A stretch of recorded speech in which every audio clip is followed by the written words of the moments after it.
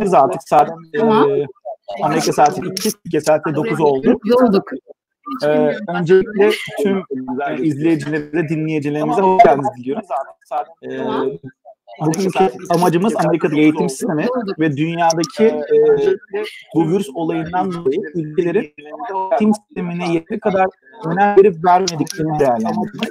Nebze de olsa dünyada insanları e, eğitim e, bu olaylar bu olay- olaylara rağmen eğitim eğitime önemlerini çekebilmek, dikkatlerini çekebilmek.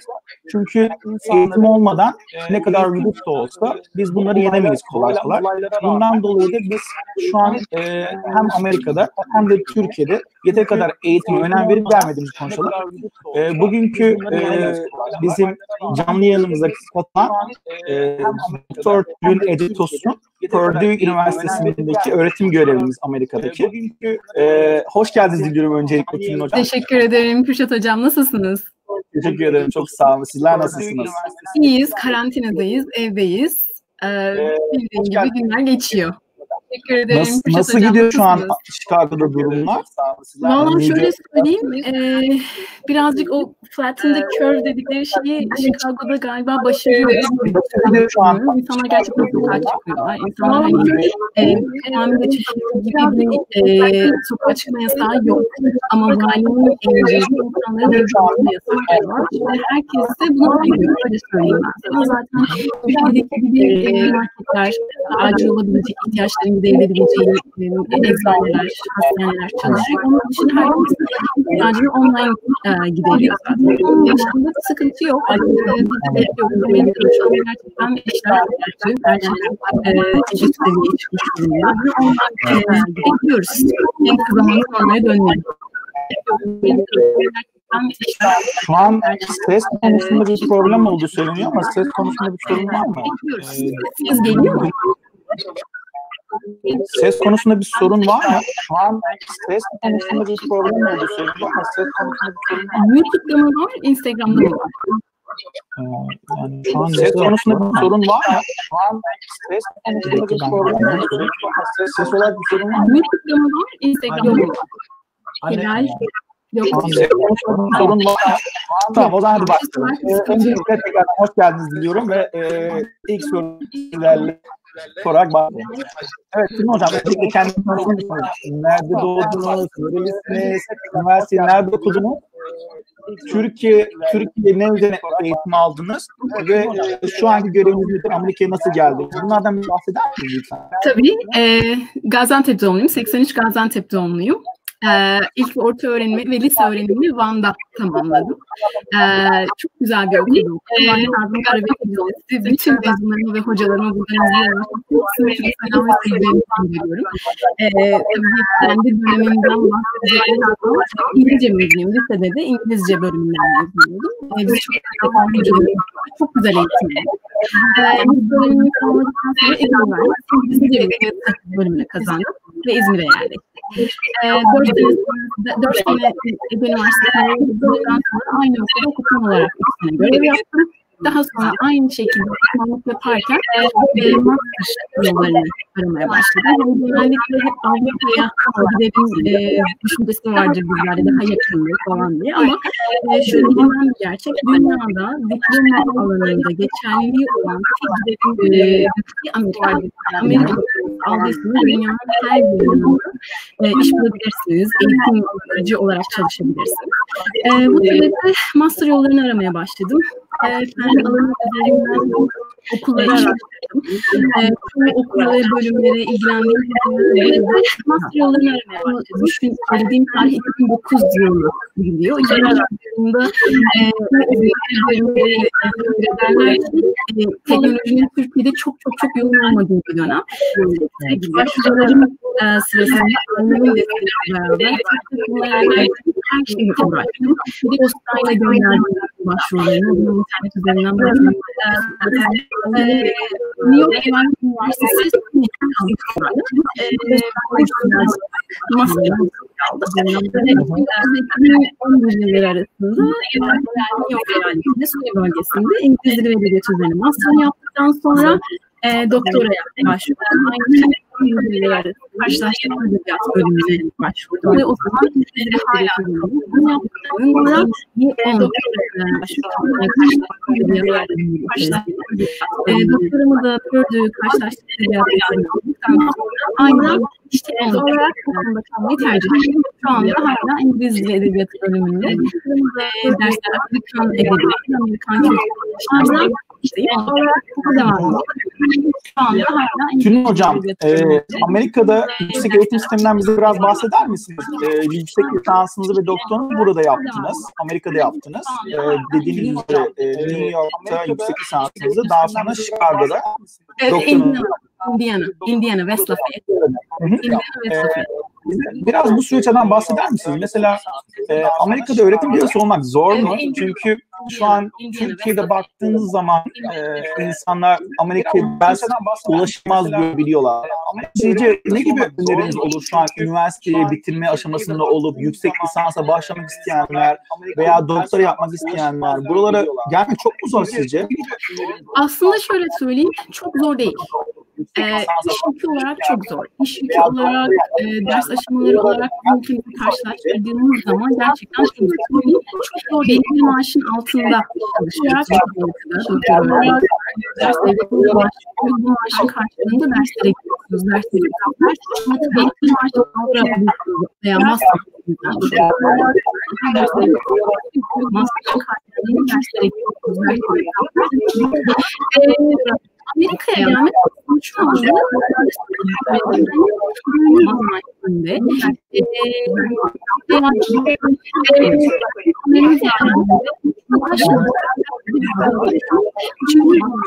eğitimi burada 45 bin 50 bin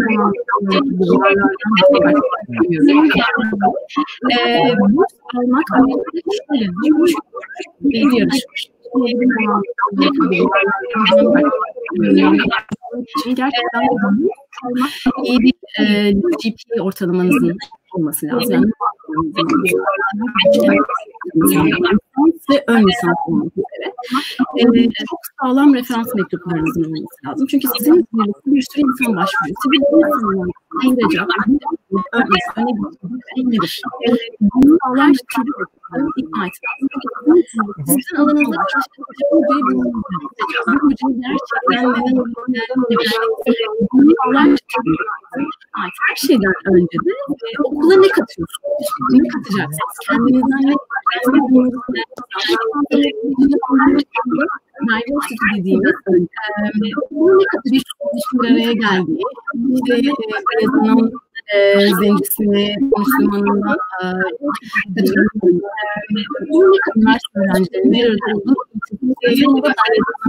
olduğu zencisini, Almanın bunu nasıl katıda bulunacağınızı sağlamanız olduğu takdirde ailesinden yazılı materyalini 12 sayfalık, bazen 20 sayfalık yazılı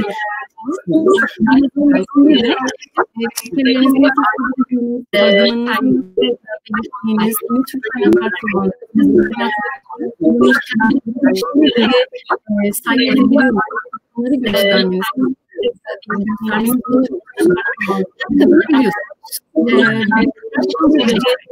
Sizin elinizden milyonlarca insan başvuruyor. Bunların arasından sıyrılıp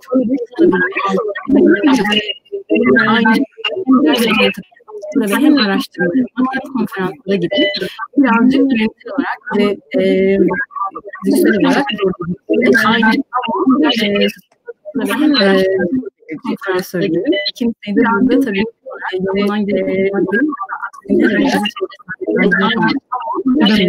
gelen ya şu an YouTube'da bir sorun olduğu söyleniyor da o yüzden onu halletmeye çalışıyorum. Tamam. Sesten mi kaynaklanan bir sorun var acaba?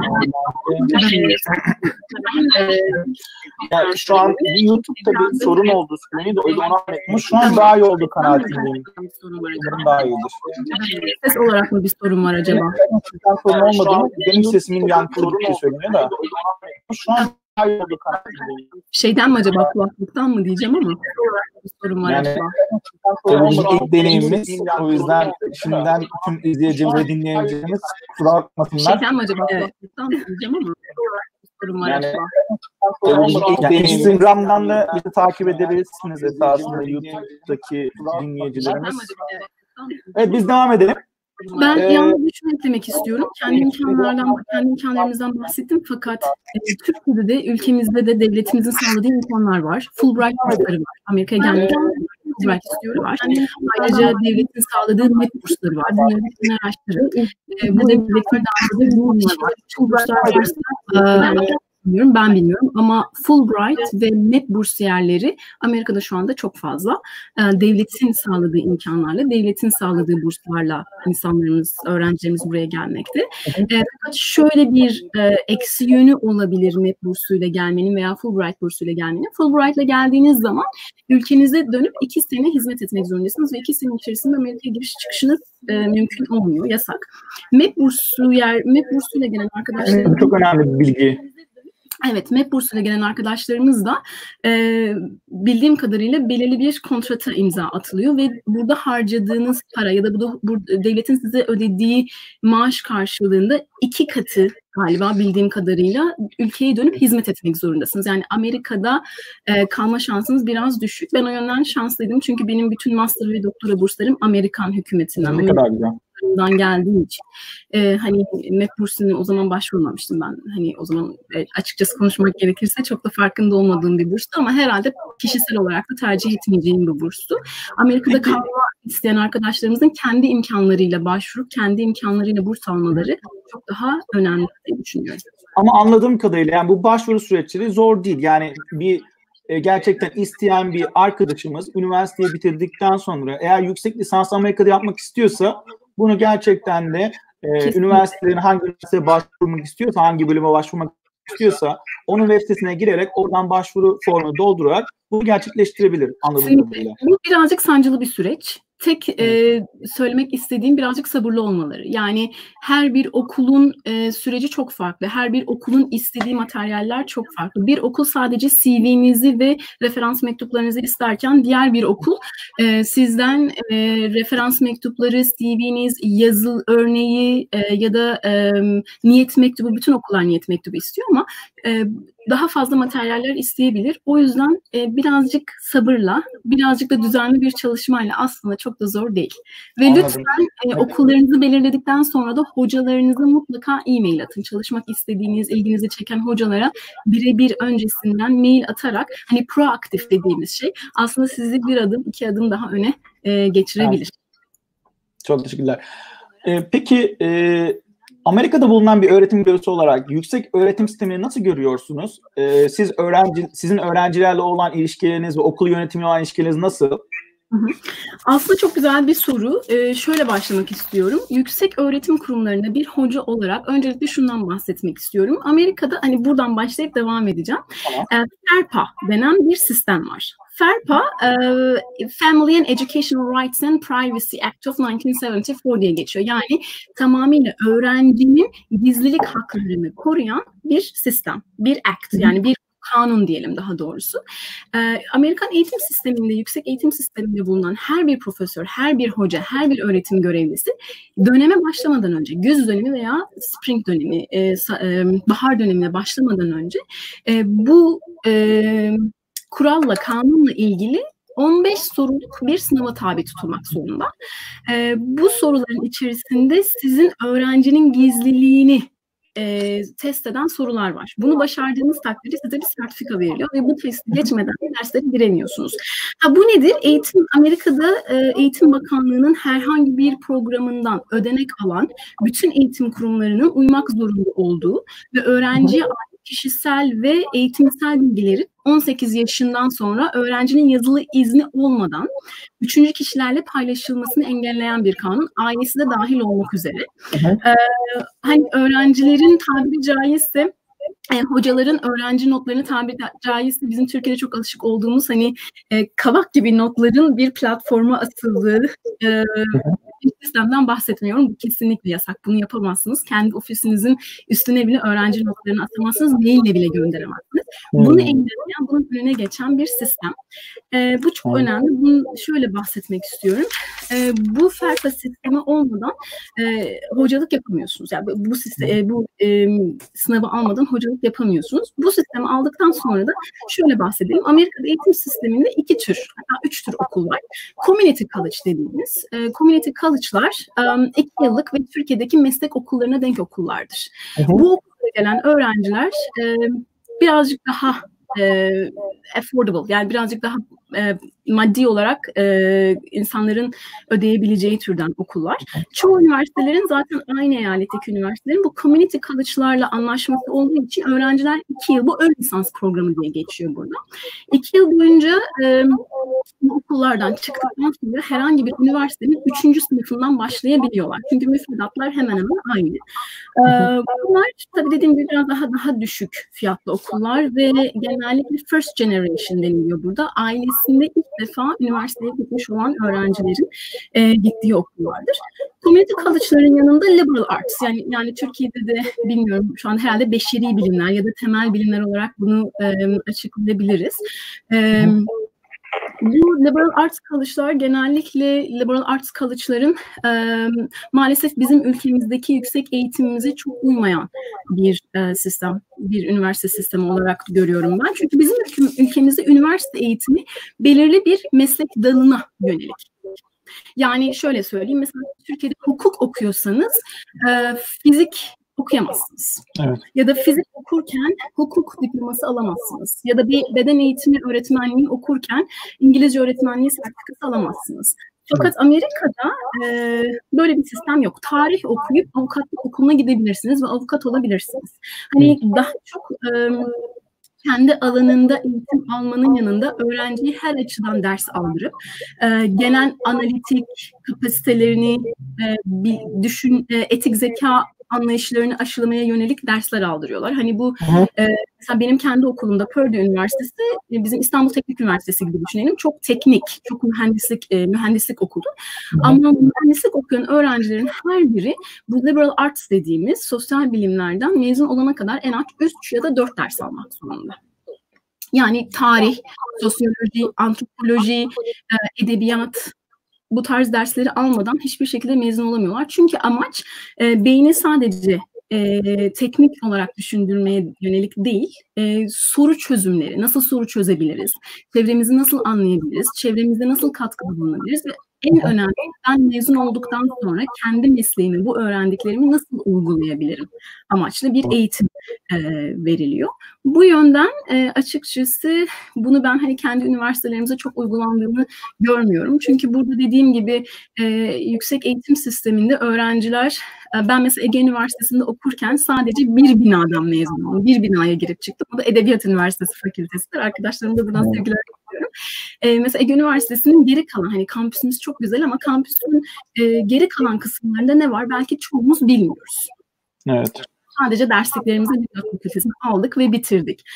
Ama Hı-hı. üniversitede böyle bir sistem var. Ee, bundan biraz sonra gerçi bahsederiz ama biraz daha ticarete yönelik bir sistem olduğu için öğrenciler derslerini çok farklı binalarda alıyorlar.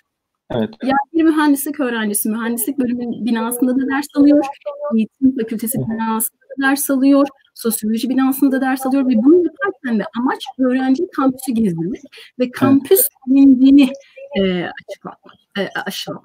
Bu çok önemli. Bir başka sorum özellikle şu an biliyorsunuz Türkiye'de üniversiteler YÖK'e bağlı, Yüksek Öğretim Kurumu'na bağlı ve YÖK kararlarını veriyor genellikle. Ee, YÖK, YÖK diye bir kurum Amerika'da yok. Yani üniversitelerin bir bağlı olmuş oldukları bir kurum yok. Ee, sizce böyle kurumlar üniversitenin başarılarını etkiler mi? Kesinlikle çok güzel bir soru. Bence kesinlikle etkiliyor. Çünkü Türkiye'de YÖK dediğimiz zaman üniversitelerin tek bir elden yönetimi söz konusu. Tek bir mecraya bağlıyız ve her şey, bütün müfredat, bütün okullar YÖK'e bağlı. Hani akademik dönemi ne zaman açılacağı, akademik dönemi ne zaman kapılacağı, finalleri ne zaman yapılacağı her şey YÖK tarafından belirleniyor. Fakat Amerika'da şöyle bir durum var. Amerika'da her Amerika'da eyalet sistemi olduğu için her eyaletin kendi e, sistemi var. Tabii ki e, Amerikan devletinde bir eğitim bakanlığı var. Betsy DeVos'un da başında bulunduğu, 11. Eğitim Bakanlığı'nın da başında bulunduğu bir eğitim bakanlığı var. Bu eğitim evet. bakanlığı ne yapıyor? Bu eğitim bakanlığı eğitimde fırsat eşitliği yaratmak için e, bütçe çalışmaları yapıyor, müfredat çalışmaları yapıyor. Fakat bunun hiçbir eyalete baskılatmıyor e, ve ya da FERPA dediğimiz bu tarz sertifikaların çalış e, oluşmasında e, oluşmasına dair adımlar atıyorlar.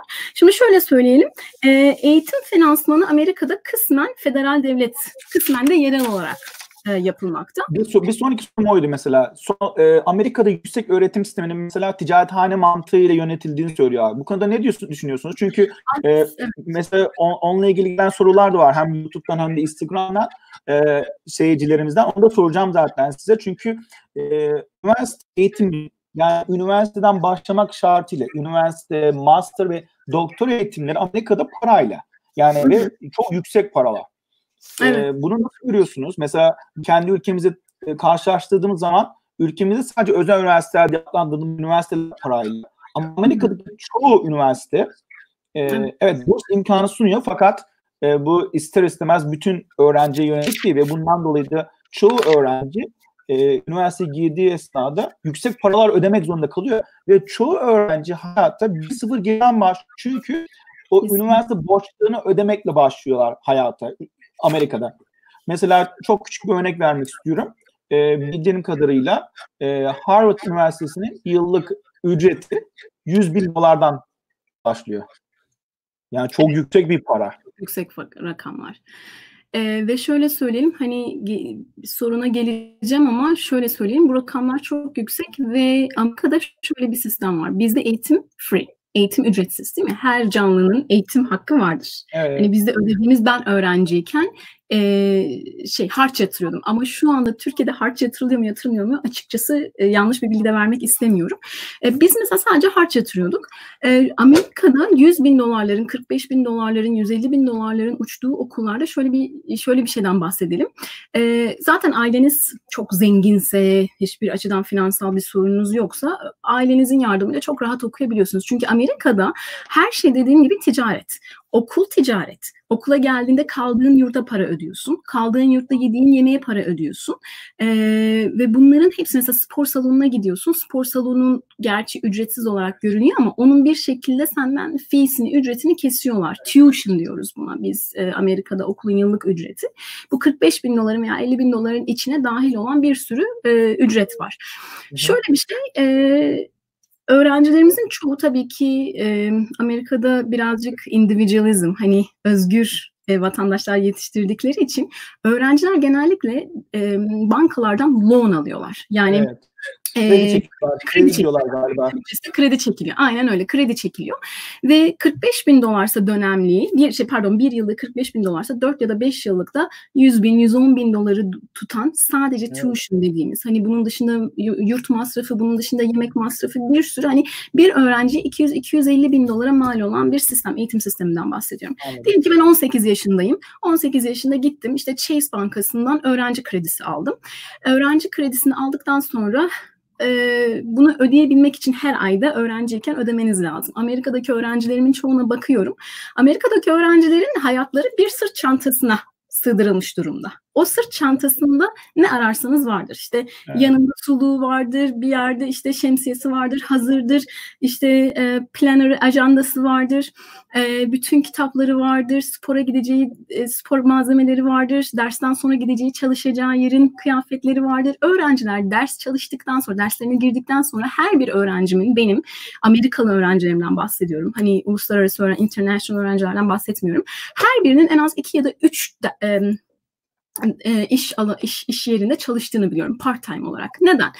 Çünkü aile desteği almıyorsanız 150 bin dolarlık bir bütçeden bahsediyoruz mezun olana kadar. Bunu ödemek için çok fazla çalışmanız lazım. 3, 4 derste hatta 5 pardon iş yerinde çalışan öğrencilerimi biliyorum. Ve şöyle bir şeyden bahsedelim. Biz aslında Türk eğitim sisteminde şöyle şanslıyız. Çünkü bizim eğitimimiz free ve bizim eğitimimiz ücretsiz. Genellikle de ailelerimiz tarafından destekleniyor. Ama bu çocuklar mezun olduktan sonra evlendiklerinde çocuk sahibi olduklarından sonra dahi bu borcu ödüyorlar. Yani sizin eğitim borcunuz siz ölene kadar sizin sırtınızda olan bir yük maalesef. Zaten şey e, bildiğim kadarıyla üniversite başladıktan sonra e, Amerika'da öğrenciler zaten çalışma hayatına da girmiş oluyorlar. Çünkü bir esnada part time olarak çalışıyorlar. Kesinlikle öyle. Kesinlikle öyle. Hani e, cep harçlıkları, dediğim gibi yeme içme harçlıkları. E, benim şu ana kadar Amerikalı olup da karşılaştığım öğrencilerimin hiçbiri aile destekli değil. Uluslararası öğrencilerden, international öğrencilerden bahsetmiyorum. Zaten bu international öğrencilerin çoğu maddi durumu iyi olup da Amerika'ya okumaya gelen öğrenciler. Ama bu öğrencilerin içinde hem Türk olarak hem Çinli hem Hintli öğrencilerimden de çalışanları biliyorum. Bunları da lütfen ayrı bir kefeye koyalım. Hani hem çalışıp hem kendi harçlığına çıkaran da çok insan tanıdım açıkçası. Ee, üniversitelerin ticari kapsam, ka, ticari mantık olarak düşünülmesinin en önemlisi. Mesela ben 2011 yılında Purdue Üniversitesi'ne geldim. Ee, 2011 yılında biz babamla ilk geldiğimizde ben çok net hatırlıyorum. Kampüsümüz bizim resmen bir köydü. Hani 40 bin nüfuslu öğrencilerle beraber 40 bin nüfuslu çok gelişmemiş tam bir köydü. Hani böyle işte 6-7 tane e, coffee house'un olduğu okul okulun biraz daha böyle hani yeni yeni e, nasıl diyelim yeni binalar yapmaya başladığı bir dönemde. Şimdi bakıyorum 10 sene olmuş neredeyse. 10 sene içerisinde e, bizim rektörümüz Mitch Daniels. E, Mitch Daniels Indiana eyaletinin eski valisi ve ayrıca Bush yönetiminin de finansal e, sorumlusuydu. Hani bu yönden birazcık zekası çok fazla olan bir adam. Para işlerini çok iyi yönetebilen bir adam. E, okula çok fazla endowment deniliyor. Zaten Amerika'daki üniversitelerin çoğu aslında bunu da biraz sonra değineceğim ama yerel kaynaklı olduğu için çoğu e, parasını e, endowment dediğimiz bağışlardan veya spor aktivitelerinden veya mezunlarının yaptığı bağışlardan kazanıyor ve bu bağışlarda e, ciddi rakamlarla 1 milyon dolarlar, 2, bin, 2 milyon dolarlardan bahsediyoruz. Mesela bizim okulumuz e, burada Amerika'da college football, Amerikan futbol dediğimiz şey çok önemli. Purdue Üniversitesi'nden mezun Drew Brees var mesela. E, çok meşhur hani bizim e, Arda Turan diyelim mesela. Çok meşhur bir adam. E, ve her sene üniversitemizde bizim 4,5 milyon dolar kadar bir şey var. E, yardımı dokunuyor. Ve okullar aslında bu yönlerle, bu şekilde dönüyor. Ama dediğim gibi mesela Purdue'de şu anda e, bizde e, çok yeni yurtlar yapıldı. Bu yurtların her biri tek bir odası. Tek kişi kalmak istiyorsanız 1200 dolardan başlıyor. Ve bu sadece e, kira. Hani bunun interneti var, işte bunun e, yemesi içmesi var, bunun sosyal hayatı var. Çok e, gerçekten e, yüksek fiyatlarla öğrenciler okuyor. Ama dediğim gibi e, bunun hani çoğu e, federal hükümet kapsamında, federal hükümetten geliyor. Çoğu da yerel e, şeylerden geliyor. E, resurslardan geliyor. Size bir başka soru sormak istiyorum. Biliyorsunuz şu an dünyayı kasıp kavuran bir COVID-19 koronavirüs vakası var. Yani dünyadaki 184 ülkeni e, kapatmış durumda. Ülkelerin birbirleri olan e, ticaretlerini durdurmuş durumda. İnsanlar, ülkeler e, eğitimlerini kapatmış durumda, ekonomilerini durdurmuş durumda.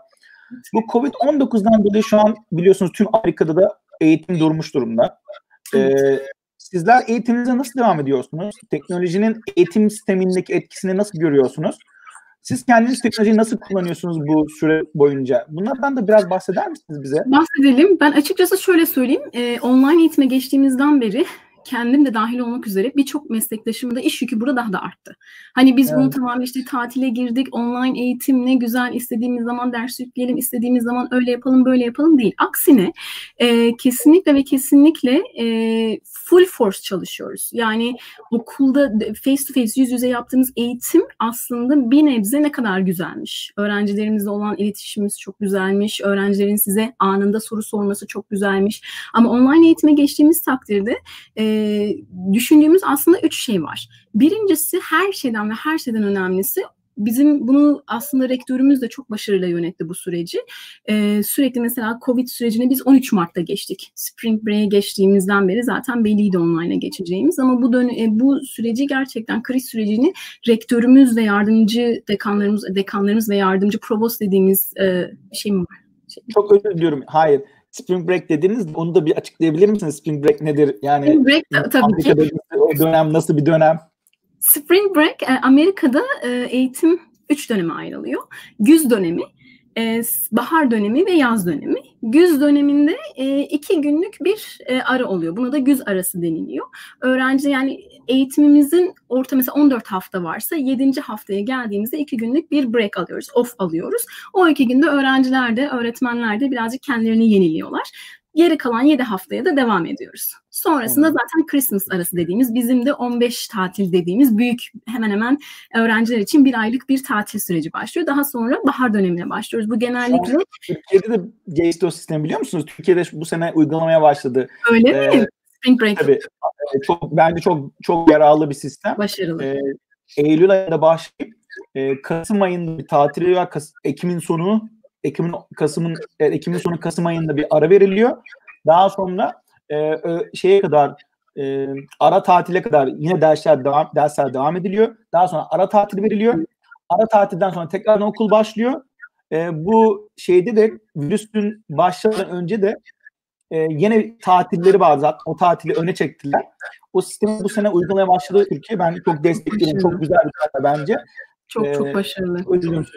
Yo, rica ederim. Bunu bilmiyordum. Çok iyi olmuş. Yani gerçekten çok iyi olmuş. Çünkü Hı. hani bu spring break dediğimizde bahar tatili. Bu güz dönemine e, oranla 10 günlük bir bahar tatili. Öğrencilerin genellikle Meksika'ya veya başka yerlere gidip böyle hani biraz daha partilediği bir e, tatil olarak anılıyor. Ama bizim için hocalar için işte akademik konferanslara gittiğimiz e, bir şekilde biraz daha nefes aldığımız e, bir dönem. Zaten e, bahar tatilimizden sonra da yaklaşık bir buçuk aylık bir dönem dönemden sonra dönemi bitiriyoruz. Nisan sonu Mayıs başı gibi dönem bitiyor. Mayıs'tan Temmuz sonu Ağustos başına kadar da yaz dönemine giriyoruz. Ağustos bizim okullarımızın başlama tarihi Ağustos, Ağustos 17-18 gibi aynı şekilde sistemimiz devam ediyor. Şimdi e, başka bir soru sormak istiyorum size. Biliyorsunuz dünyada araştırma şirketleri var. Eğitim durumlarını araştırıp dünyalar arasındaki e, eğitimi karşılaştıran şirketler var. Bunlardan bir tanesi de PISA. Ee, dünyaca tanınmış eğitim araştırma şirketi olan PISA'nın 2018 yılında yayınlanmış raporlarına göre 15 yaşındaki yani üniversiteye başlayacak çağdaki öğrencilerin gelecekteki işleriyle ilgili hiçbir fikri olmayan ülke olarak maalesef 78 ülke arasında 78.yiz. Maalesef çok acı. Tam gençliğimiz üniversiteye başlayacak ama hiçbir fikri yok. Yani gelecekteki hangi e, mesleğe sahip olacağıyla ilgili hiçbir şeyi yok, e, bir fikri yok. E, bu Türkiye'deki üniversite eğitim sistemini etkileyeceğini düşünüyor musunuz? Özellikle yüksek öğretim sistemini yani üniversite ve master şeklinde etkileyebileceğini düşünüyor musunuz? Kesinlikle. Şimdi şöyle çok güzel bir şeyden bahsettin. Hani sorunun cevabına geleceğim ama öncelikle şundan bahsetmek istiyorum. Ee, hani biz eyaletten eyalete eğitim sisteminin farklılık gösterdiğini söyledik. Hani bizde nasıl bir Milli Eğitim Bakanlığı'na bağlıysa ortaokullar, e, orta yüksek öğretim, e, orta ilkokul ve lise nasıl bir Milli Eğitim Bakanlığı'na bağlıysa ve üniversiteler nasıl YÖK'e bağlıysa Amerika'da da eyaletten eyalete değişik gösteren e, bir şey var. E, sistem var. Mesela şöyle diyelim genelde dört farklı eğitim yapısı var Amerika'da. Hani 6 yıl birinci option 6 yıl ilkokul 6 yıl lise olabilir. 8 ee, yıl ilk öğretim ya da 6 yıl 4 yıl lise olabilir. 5 ee, yıl ilkokul 3 yıl ortaokul, 3 yıl lise olabilir ya da 4 yıl ilkokul, 4 yıl ortaokul ve 4 yıl lise olabilir. Şimdi bunların hani şeyine baktığımız zaman öğrencilerin her bir şeyde mesela e, de, o ilkokulda da ortaokulda da lisede de hani ben de bunu sana açıkçası daha sonra konuştuğumuzda sormak istiyorum. Mesela öğrencileri sınava tabi tut ilkokul öğrencilerinin 3 biz mesela seninle de konuştuğumuzda bundan bahsetmiştik. İlkokul 3. sınıfta öğrencilerin sınav sistemine girdiği bir ülkeden bahsediyoruz. Amerika'dan konuşuyorum. Şimdi öğrencilerin e, her şekilde hazırlayan bir ülkeden bahsediyorum. E, mesela ben çok fazla e, Hani Indiana'da yaşayan Türk arkadaşlarımızın çocuklarından da biliyorum. Mesela çocuklar geliyor e, ortaokul sürecinde çocuk Yunan mitolojisi dersi alıyor. Latince dersi alıyor. Ee, işte mesela dikiş kursu alıyor. Pizza yapmayı öğreniyor. Tamamıyla kendi ayakları üzerinde durabilecek bireylerin yetiştirildiği bir sistemden bahsediyorum. Şimdi bu çocuklar e, şeye geçmeden önce sistem nasıl işliyor? Mesela üniversiteye başvurduğunuz zaman da e, sizin bizdeki gibi işte bir sınava girdik. ÖSYM'nin hazırladığı bir sınava girdik. Bütün hayatımız bu sınava bağlı.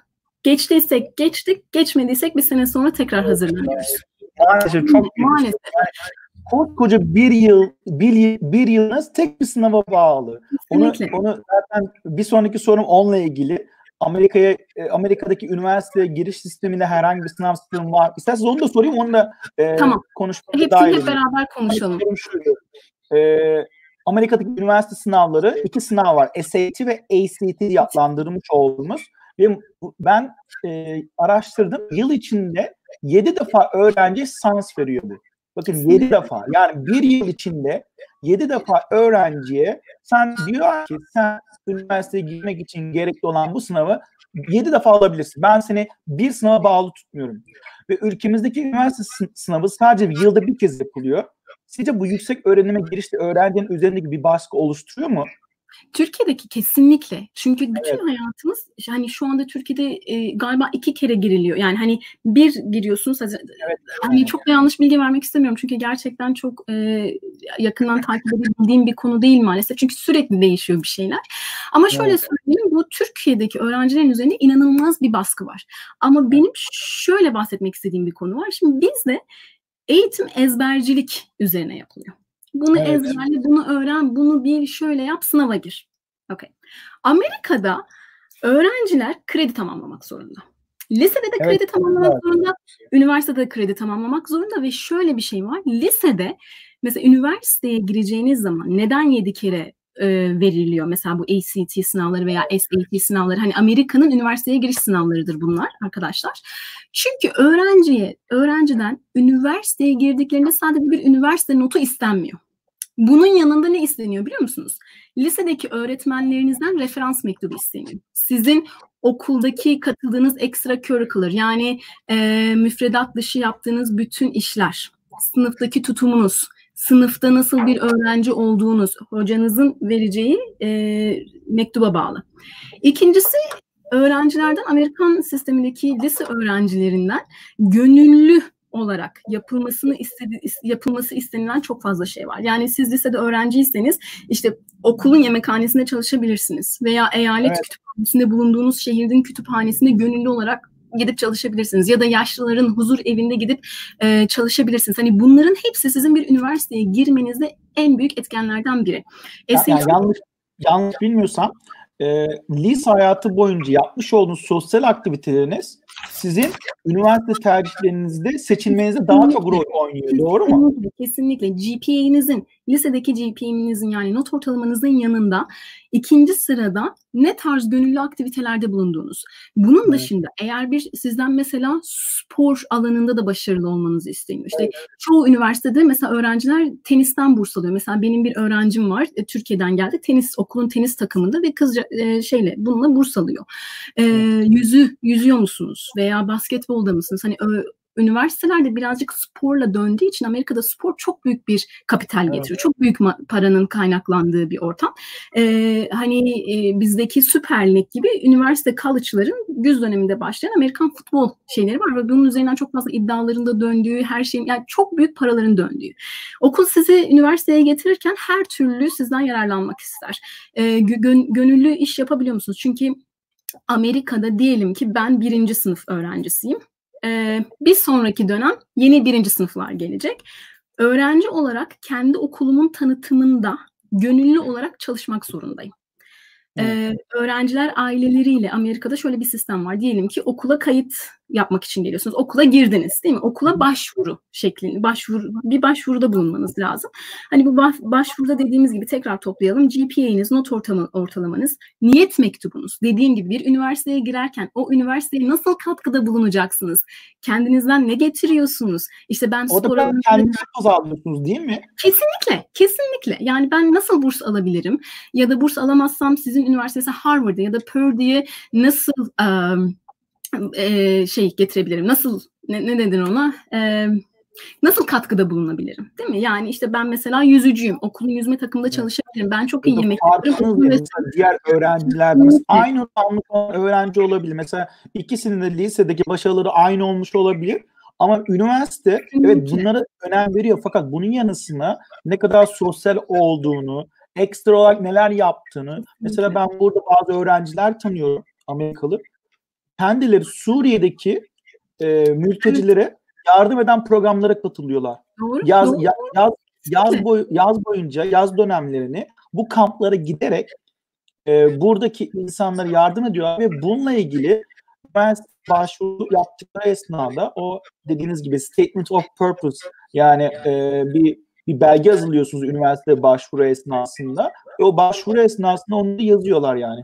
Kesinlikle ve en sonunda e, açıkçası ders dışı aktiviteleriniz. Hani burada ekstra curricular aktivite deniliyor. Neler yaptınız? Bunlar sizin üniversiteye başvurunuzda çok önemli etkenler. Hani bizdeki gibi işte sınava girdik, başvurumuzu yaptık. E, hangisini kazanırsam o üniversitede okuyorum değil. Burada bir üniversiteden kabul aldığınız zaman üniversite size kampüs turu düzenler. Hadi gel benim ezbere gel benim okulumda oku değil. Yani bu şu demek ailenizle beraber okulun açtığı belli tarihlerde o okula gidiyorsunuz. Evet. Dediğim gibi gönüllü öğrencilerin yer aldığı bir takım gruplar var. Birinci grupta diyelim ki işte ben 10 kişilik aile grubunu alıyorum. İkinci grupta Kürşat Hocam 10 kişilik bir aile grubunu alıyor. Okulun her bir binasını okulun tarihini anlatarak gezdiriyorsunuz. İşte bu bina evet. ilk okulun ilk binasıdır, şurada şu oldu da burada bu oldu da. Öğrencileri okulla ilgili, e, seçmek istedikleri dallarla ilgili bir sürü bilgi veriyor. Ve şöyle söyleyelim, üniversitede, Amerikan üniversitelerinin ilk senelerinde öğrenciler alanlarını seçmek zorunda değiller. Buna non um, undecided deniliyor, karar vermiyorlar. Birinci yıllarında her bölümden ders alıyorlar. Mesela ben diyelim ki İngiliz Edebiyatı bölümü okumak istiyorum ama aynı anda... yapıyor. Yapıyor Koç mu? ve bunu yaptığını biliyorum. Onlar zaten ee, evet. sene öğrenciye bölüm seçtirmiyor.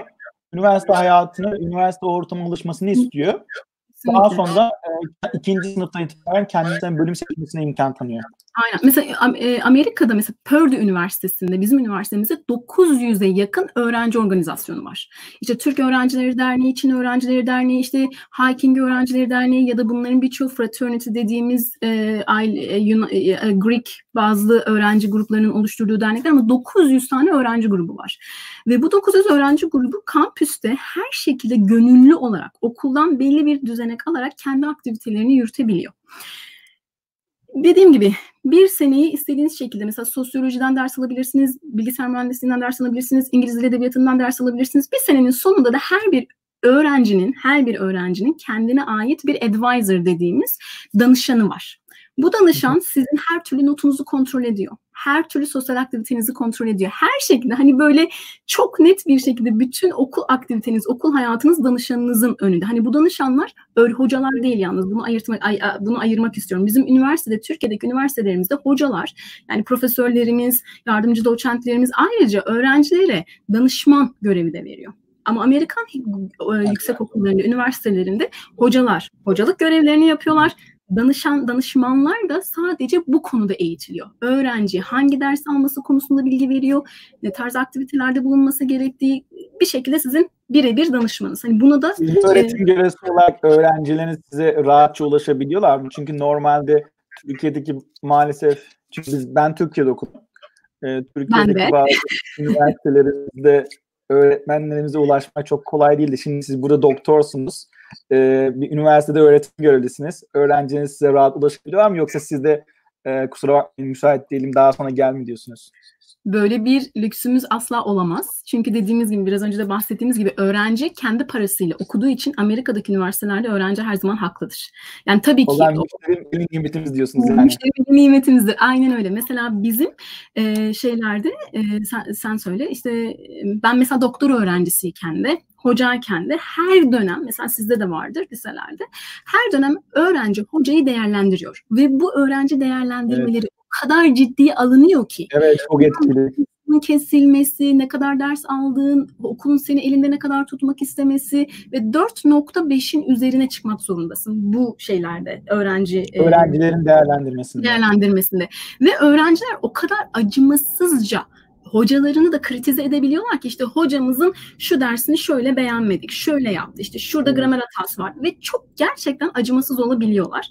Ee, ve okul yönetimi özellikle bölüm başkanları bunları çok çok çok çok önem veriyor. Ve bunlar hani biz şey zannediyoruz mesela işte benim kendi bölüm başkanım benim dersimin e, biz hani bazı platformlar, online platformlar var bunlara geleceğim konuşurken e, o online platforma girebiliyor Benim neler yaptığımı görebiliyor. Benim aktif olarak öğrencilerimle konuşup konuşmadığımı görebiliyor. Benim yıl sonu öğrencilerin işte e, beni ne, ne dedik e, evaluation etmelerine kadar görebiliyor. Değerlendirmelerine kadar görebiliyor.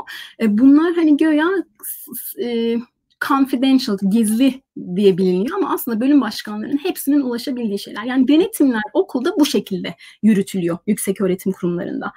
Ee, ve daha sonra e, şuna geçelim. Mesela e, öğrenciler, mesela bizim Purdue Üniversitesi'nde işte bu hani ailelerin geldiği bir oryantasyon süresinden bahsettik. Öğrenciler patladanak hadi ben Ege Üniversitesi'ni kazandım, Ege Üniversitesi'ne gidiyorum değil.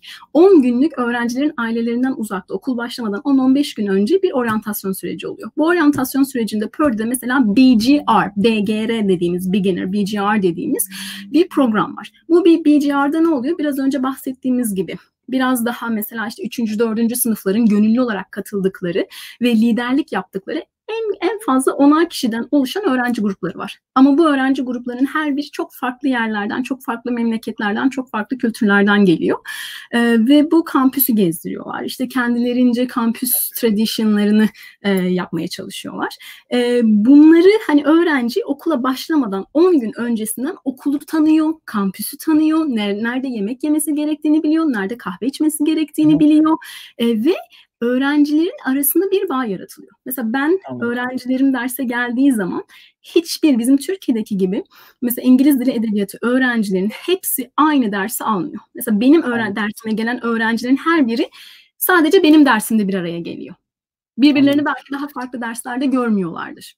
Sülün Hocam son bir soru daha sormak istiyorum size. Daha sonra isterseniz high school ve e, yani lise, ortaokul ve ilkokul şeyine geçelim, bölümüne geçelim isterseniz. Tamam. Sorum Şeyi anlatmak istiyorum. Hani o soru sordun teknoloji onu da bir anlatacağım sonra. Ee, sorum şu olacak. Şimdi siz tabii e, ana diliniz İngilizce değil sizin. Siz Hı-hı. Türkiye'den geldiniz. E, burada master yaptınız. Hatta üniversite bile Amerika'da okumadınız. E, burada doktoranızı yaptınız ve şu an belki de Amerikalılara ders veriyorsunuz. Yani evet. Genellikle öğrenciniz international yani uluslararası öğrenciniz ama ister istemez e, elinizde bulunan öğretim görevlileri Amerikalılar. Sizce bu e, Amerika'da doğmamanız yani yurt dışından gelmeniz sizin iş çevrenizde özellikle üniversite hayatında akademik hayatta bunlar size negatif olarak e, bir etki ediyor mu hayatınıza? Size nasıl bakış açı, bakış açıları nasıl size kendinizi nasıl hissediyorsunuz? E, dil olarak mesela kendinizin e, ister istemez aksan aksan yaptırmış olduğumuz sorunlar olacaktır tabii. Tabii ki Bunlarla, de. Bunlarla karşılaşıyor musunuz? Bunlardan da bahseder misiniz? Tabii ki. Şimdi şöyle, e, ben Amerika ilk geldiğimde e, eyalet benim olduğum yani Upstate New York'ta, Fredonia'da çok güzel bir ortam vardı. Ben hani Purdue'deki ortamı da çok seviyorum ama orası e, öğrencilerle beraber 15 bin nüfuslu küçük bir yerleşkeydi ve orada gerçekten bir aile ortamı vardı. Orada bir de kulakları çınlasın Ejder Hocam ve eşi de buradan bizi izliyorlarsa sevgilerimi gönderiyorum. İki tane hiç unutmuyorum e, Meral Hocam ve Ziya Hocam onlara da selamlarımı gönderiyorum e, topu topu benim bildiğim üç tane Türk, Türk hocamız vardı. Ve ben ilk gittiğimde e, o kadar sıcak bir ortamla karşılaştım ki. Hani hiçbir şekilde e, tabii benim mesela babamla beraber gittik. Hani babam bir iki ay yanımda kaldı. Hani o süreci tek başıma atlatmam atlatmadım. E, babama da buradan sevgilerimi yolluyorum. E, iki ay boyunca benimle birlikte orada bulundu. Hep beraber babamla beraber keşfettik alışverişlerimizi nasıl yapmamız gerektiğini falan ama onun dışında e, çok büyük bir aile ortamıyla karşılaştım ve ben hala oradaki hocalarımla, oradaki öğrencilerimle de birebir görüşüyorum. E, aslında şöyle bir yanlış algı var. E, bence o birazcık da sizin insanların kendilerini nasıl e, reprezente ettiğiyle alakalı. Hani şimdi ben bir Türk olarak işte Fredonia'ya gittim. Eee ama benden sonra gelen Türkler kendilerini nasıl mesela tanıttı veya Türk kültürünü nasıl tanıttı? Hani bu biraz da bununla alakalı bir şey. Ama şunu söyleyebilirim. E, biz özellikle Türkler gerçekten Amerika'da çok seviliyoruz. Çok e, takdir edilen bir ülkeyiz. E, hem, Türkler kesinlikle Mesela çok başarılıyız. Yani mesela ben e, ben öğretmenlik deneyimimi anlatırken de bunu dile getirece- getireceğim zaten. E, yani biz gerçekten başarılıyız. Yani eğitim Kesinlikle. olarak Kesinlikle. özellikle bizim zamanımızdaki eğitim yani mesela ben almış olduğum eğitimde gerçekten çok başarılı bir eğitim aldığımı düşünüyorum. Zaten bu yüzden Amerika'da matematik öğretmenliği yapabiliyorum. Kesinlikle. Ee, yani Kesinlikle. E, bu konuyu bahsedeceğim ama siz de zaten bahsettiniz. Yani Türkler, Türkler gerçekten yani Türkiye'de eğitim almış insanlar isteseler çok güzel bir şekilde başarılı olabilirler değil mi? Ve e, birazcık hani dediğim gibi mesela e, college'ların ve üniversitelerin hani bundan bundan da bahsetmek istiyorum. İnsanların kafasında birazcık yanlış bir e, bilgi var. Mesela ben dediğim gibi hani daha küçük bir e, şeye geldiğim için, yere geldiğim için e, hemen hemen herkesi tanıyordum kampüste. Hani herkesi, herkes birbirini tanıyor zaten. Ama daha sonra mesela master'ımdan sonra Purdue Üniversitesi gibi e, top 10 hani ülke çapında top 10 üniversitelerin içinde bulunan bir okula geldiğimde 45 bin kişilik bir okuldan bahsediyoruz. 45 bin kişilik bir okulda hani e, balık gibi hissediyorsunuz. İşte kimse sizi tanımıyor, kimseyle arkadaş olamıyorsunuz. İlk başta hocalarınız isimlerinizi öğrenene kadar zaman geçiyor. Ama dediğim gibi e, bu süreç birazcık zorlu oluyor tabii ki. Ama insanların sizi kucaklaması, insanların sizin kültürünüzden bir şeyler öğrenmeye çalışması, işte bölüm yemekleri olunca Türk kültüründen bir şeyler yapıp götürdüğünüz zaman, bir iki kelime öğrettiğiniz zaman insanların gerçekten Türk kültürüne de bakışı çok değişiyor ve Türkleri de çok seviyorlar. Bunu gerçekten e, altını çizerek söylemek istiyorum. E, benim o konuda hiçbir sıkıntım olmadı şu ana kadar. En yakın arkadaşlarım Amerikalılardır, en yakın hocalarım Amerikalılardır e, ve e, şöyle söyleyeyim sana. E, Türkiye'deki Türk şey Amerika'daki Türk hocaların çoğu da artık hani e, aksan seviyesini çok aşmış insanlar. Hani tabii ki kendi evet. aksan tabii ki bir Türk aksanımız var. Ben mesela akademik konferanslara gittiğimde de hemen duydum da işte hoca Türk mü acaba ama bu da çok normal çünkü eğer e, bebeklikten beri veya ilkokul çağından beri Amerika'ya gelip o dili almıyorsanız 20'li yaşlardan sonra dil öğrendiğinizde o aksanın gitmesi imkansız. Ne olursa olsun. Çabalarsanız çabalarınız. Ama e, Chomsky'nin de söylediği çok güzel bir laf vardır. Bir insanın aksanı bir insanın ne kadar güçlü ve kuvvetli olduğunu gösterir. Çünkü herkes başka bir ülkeye gidip başka bir ülkenin dilini konuşup o dilin öğrencilerine de e, ders vermek birazcık e, zor ve hani bunu yapabiliyorsanız insanı çok e, güzel yerlere getiren bir e, olay diye düşünüyorum. Ben öğrencilerimin hani bir sonraki soruya geçeyim. Öğrencilerimin bana ulaşması, öğrencilerimle aramdaki mesafe nasıl? Şimdi ben Ege Üniversitesi mezunuyum. Tabii o zaman e, biz üniversitedeyken ben 2001, 2005, 2001'de girdim, 2005 mezunuyum. Kaç sene önce. Hocalarımıza ulaşmak çok zordu. Yani kapısına tıklatmaya korkardık. Hocayı ofiste bulabilmek ne ala bir soru sormayı bırak. Hocayı ofiste bulabiliyorsak e, öpüp başımıza koyuyorduk. Hocalarımızdan korkardık ve hani Türkiye'de birazcık bu hiyerarşi sistemi var maalesef. Hoca öğrenci ilişkisi. Hocalar ne kadar buradaysa öğrenciler de maalesef birazcık daha burada. Hani bir e, hiyerarşiden bahsediyoruz. E, ve hocanın öğrenciyi sürekli ezmesi. Hani bunu hep hepimiz şahit olduk. İşte şöyle yaparsan seni geçirmem, şöyle yaparsan seni etmem dediğimiz e, durumlarla çok karşılaştık. Amerika'daki eğitim sistemi bu FERPA'dan bahsettim ya en başta bu yüzden çok önemli. Çünkü öğrencinin her türlü hakkına saygı duymayı öğreniyorsunuz. Öğrencinin her türlü özeline saygı duymayı öğreniyorsunuz ve ben e, şu andaki görevimde haftada 9 saat ofis saat yapmak zorundayım. 9 saat ofis saat öğrencilerinizde olan e, onlara herhangi bir soruları olduğunda size soru sormaları sizinden e, yardım istemeleri değil mi? Bunlar Aynen öyle. Zaten. Mesela 9 saat diyelim ki pazartesi 1 ile 5 arası atıyorum. Mesela 1 ile 3 arası ofisimdeyim. O sırada kapım açık. Hiçbir şekilde Amerika'daki hocaların kapılarının derslere gittikleri saatlerin veya kampüste olmadıkları dışında olmadıkları zamanların dışında kapılarının kapatıldığını hiçbir zaman görmezsiniz. Anladım. Kapılarımız sürekli açık. Öğrenci 1 ile 3 arasında her istediği saatte gelip beni görebilir. Beni bulamazsa sekretere gidip e, soru sorabilir. Yani bu hoca nerede? 1 ile 3 arasında burada olması gerekiyor. Hoca yok. Ve her şeyden önemlisi e, bizim mesela bu ders e, şeylerimizde, değerlendirmelerimizde öğrencilerin yorum yaptığı en büyük konulardan biri de hocanın ne kadar ulaşılabilir oldu. Burada öğrencilerimize dediğimiz gibi ticaret mantığıyla yaklaştığımız için öğrencilerimize her şekilde ulaşılabilir olmak zorundayız. Öğrenci mesela bana gece yarısı mail atıyorsa bir şekilde hani özellikle de online eğitime geçtiğimiz zaman birebir hemen e-mail atmak zorundasınız. Öğrencilerinizle ilişkinizi çok iyi tutmak zorundasınız. Çünkü öğrenci çatır çatır da hesabını sorabilen bir öğrenci. Çünkü ben paramı ödüyorum ödediğim paranın karşılığında almak zorundayım e, diye bir şey var. Ayrıca hani şeyden bahsettik. E, bu Covid sürecinde ne tarz bir online'dan e, online süreçten bahsediyoruz. E, ondan da bahsettim. Hani e, bizim yük, yükümüz üç katına çıktı. Bundan şikayetçi miyim? Asla değilim. Çünkü sonuçta bu bizim görevimiz değil mi? Mesela Türkiye'de hani bunu da sana soracağım ama e, Türkiye'de genellikle e, bir banttan eğitim var. İnsanlar işte çocuklar banttan eğitim alıyorlar. Hani bunu biraz sonra konuşuruz ama Aynen öyle. Ben mesela bizim üniversitemiz bu, bu işi çok güzel yürüttü. Kendi rektörümüz bu iş daha başlamadan her gün ama her gün günde 2-3 kere olmak üzere bize mailler, e-mailler attı. İzleyeceğimiz yol budur e, okulda bir task force diyorlar. İşte güvenlik güç oluşturuldu. E, iyi şeyde okulun kendi sitesinde bir güvenlik e, sitesi oluşturuldu. Günü gününe, saati saatine okulda ne tarz şeylerin yapılacağı update edildi. E, kendi rektörümüz sürekli YouTube videolarıyla bizlere seslendi. Ve bizden de dediğim gibi öğrencilerimizle e, eş zamanlı ya da eş zamanlı olmadan derslerimizi birebir yürütmemiz isteniyor. E, bunda izlediğimiz yollar nedir? her gün olduğu gibi kendimizi record ediyoruz. Çünkü benim öğrencilerim dünyanın her yerine dağılmış durumda. Hani aynı farklı saat dilimleri içinde olan öğrencileri Amerika'daki saat dilimine uydurmak birazcık mantık dışı e, bu Covid sürecinde.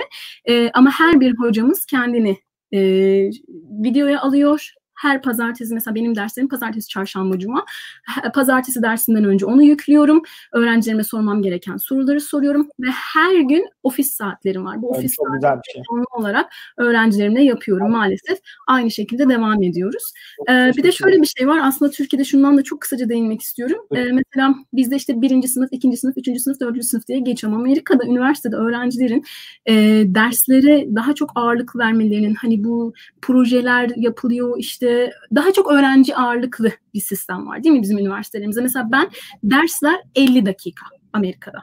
50 dakikanın 50 dakikasında ders anlatmıyorum. 20 dakika evet. ders anlatıyorsam geri kalan 30 dakikayı ayarlamam gerekiyor. Mesela 10 dakika öğrenci gruplarına ayırıyorum. Her biri 4 kişiden olmak üzere. Yani planlıyorsunuz anlatacağınız derslere girmeden önce Kesinlikle. yani her dakikasını ayarlıyorsunuz. İşte ben Kesinlikle. ilk her şeyi önceden tahmin edebiliyorsunuz. Yani Kesinlikle. öngörebiliyorsunuz. Kesinlikle. Ve ona göre hazırlık yaparak dersinize giriyorsunuz. Kesinlikle ve Amerika'da sınıflarda şunu uygulamak zorundasınız. Sokratik yöntem var. Yani soru ve cevap. Hani hoca öğrencinin düşünmesini e, yönlendirecek sorular soruyor. Öğrenciler bunu gruplar halinde buluyorlar ve e, dediğim gibi hani lecture yani ders anlatma. Geri kalan e, 30 dakikayı da bölüyorsunuz. İşte öğrenci gruplarının birlikte çalışması, YouTube videoları izliyoruz, e, listening yapıyoruz, dinleme yapıyoruz ve son 5 dakikada öğrencilere şunu yaptırıyoruz. Ben genellikle sınıflarımda bunu yaptırıyorum. Son 5 dakika sadece öğrenciler bir kağıt parçası alıyorlar ve bu kağıt parçasını o gün derste ne öğrendiklerini ve neyi önemli bulduklarını ve bir sonraki ders için soruları varsa o soruları yazıyorlar. Ben bunları evde okuyorum ve bir sonraki ders içinde bunları cevaplıyorum. Bunlar e, ve bunlar kendi katılım notlarının içerisine giriyor. Ee, hani bunu yaparken de dört duyu dediğimiz, Amerika eğitim sisteminde dört duyu dediğimiz her duyuyu dersimize almış oluyoruz. İşte dinleme, konuşma, e, argümanını oluşturabilme ve yazma. Bunları yapabiliyorsanız zaten çok başarılı. Çünkü öğrenciler 30 krediyi tamamladıklarında birinci sınıf oluyorlar Amerika'da. Bunu hani buradan belirtelim. 60 krediyi tamamlayabiliyorsanız ikinci sınıfa geçiyorsunuz. ikinci sınıf oluyorsunuz. 90 krediyi tanımlayan, tamamlayanlar junior yani 3. sınıf oluyor. 90 ve üstünü tamamlayanlar da senior yani mezun olmaya hak kazanıyor. Hani öyle işte birinci sınıf, ikinci sınıf, üçüncü sınıf bitti falan değil. E, kredi tamamlamanız lazım. E, bu da bence önemli olduğunu Teşekkür ederiz. Yani bize yüksek e, eğitimle ilgili, akademik eğitimle ilgili paylaşmış olduğunuz bilgilerle ilgili. Bir de şunu da söylemek istiyorum e, çok kısaca. E, Amerika'da mesela e, üniversiteler öğrencilerin kendi mesleklerini eğitimini almaları dışında e, muhteşem bir yazı e, yeteneğine sahip olmalarını istiyorlar. Hani bu yazı yazı yani kompozisyon. Ben katılmıyorum yani. Kompozisyon. Lisede çok kötüler. Ortaokulda yazı yetenekleri hiç yok maalesef. Değil mi? Tutmuyorlar not.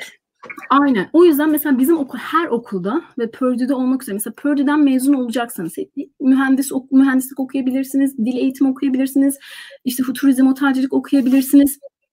Ee, kesinlikle ve kesinlikle e, bu kompozisyon Ne oldu? Şey gitti galiba. Şimdi bir dakika ben e, bir daha paylaşacağım. Çünkü tamam. bir saat uyuyor. Hattımız kesildi galiba. Şöyle normalde e, YouTube size bir saat canlı yayın veriyor. O yüzden bir saat oldu diye öyle oldu ama şimdi bir daha açtım. Tamam. Sen bir ee, daha aç. Siz bana gönderebilirsiniz tekrardan şeyi. Ee, tamam. İstek gönderebilirsiniz. Tamam. Siz bana gönderebilirsiniz tekrardan şeyi. Tamam canım. Siz bana gönderin istek. Evet, e, izleyicilerimize söyleyeyim. Bizden kaynaklı değil. Evet, izleyeceğimiz izleyicilerimize söylerim. Bir dakika ben sizi bekliyorum şu an. İzleyicilerimize söyleyelim. Bizden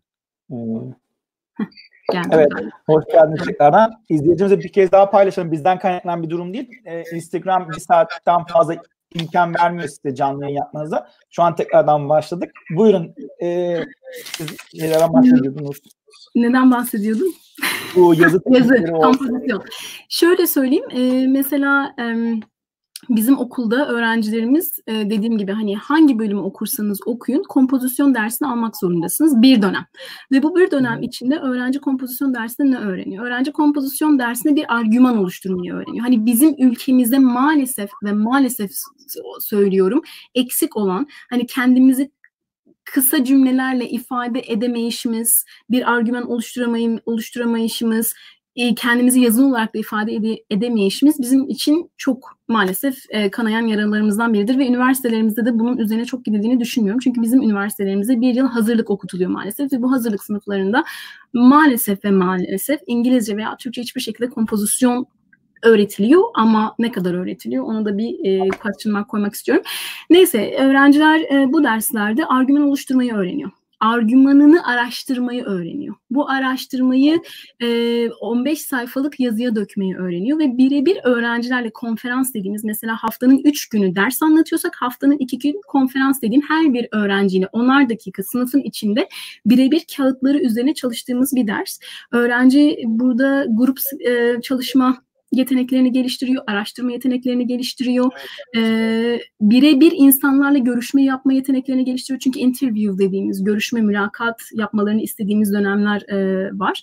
E, bunları yaptıktan sonra da e, İkinci dönemde de CV'lerini oluşturma, iş başvuru yapma yani rezüme veya CV yazmayı öğreniyorlar ve kampüsten bu şekilde mezun oluyorlar. Çünkü iş başvuruları üniversitelerin ikinci ve üçüncü sınıflarında başlıyor. Ee, bizim okullarımızda kariyer günleri var ve bu çok ciddiye alınan bir şey.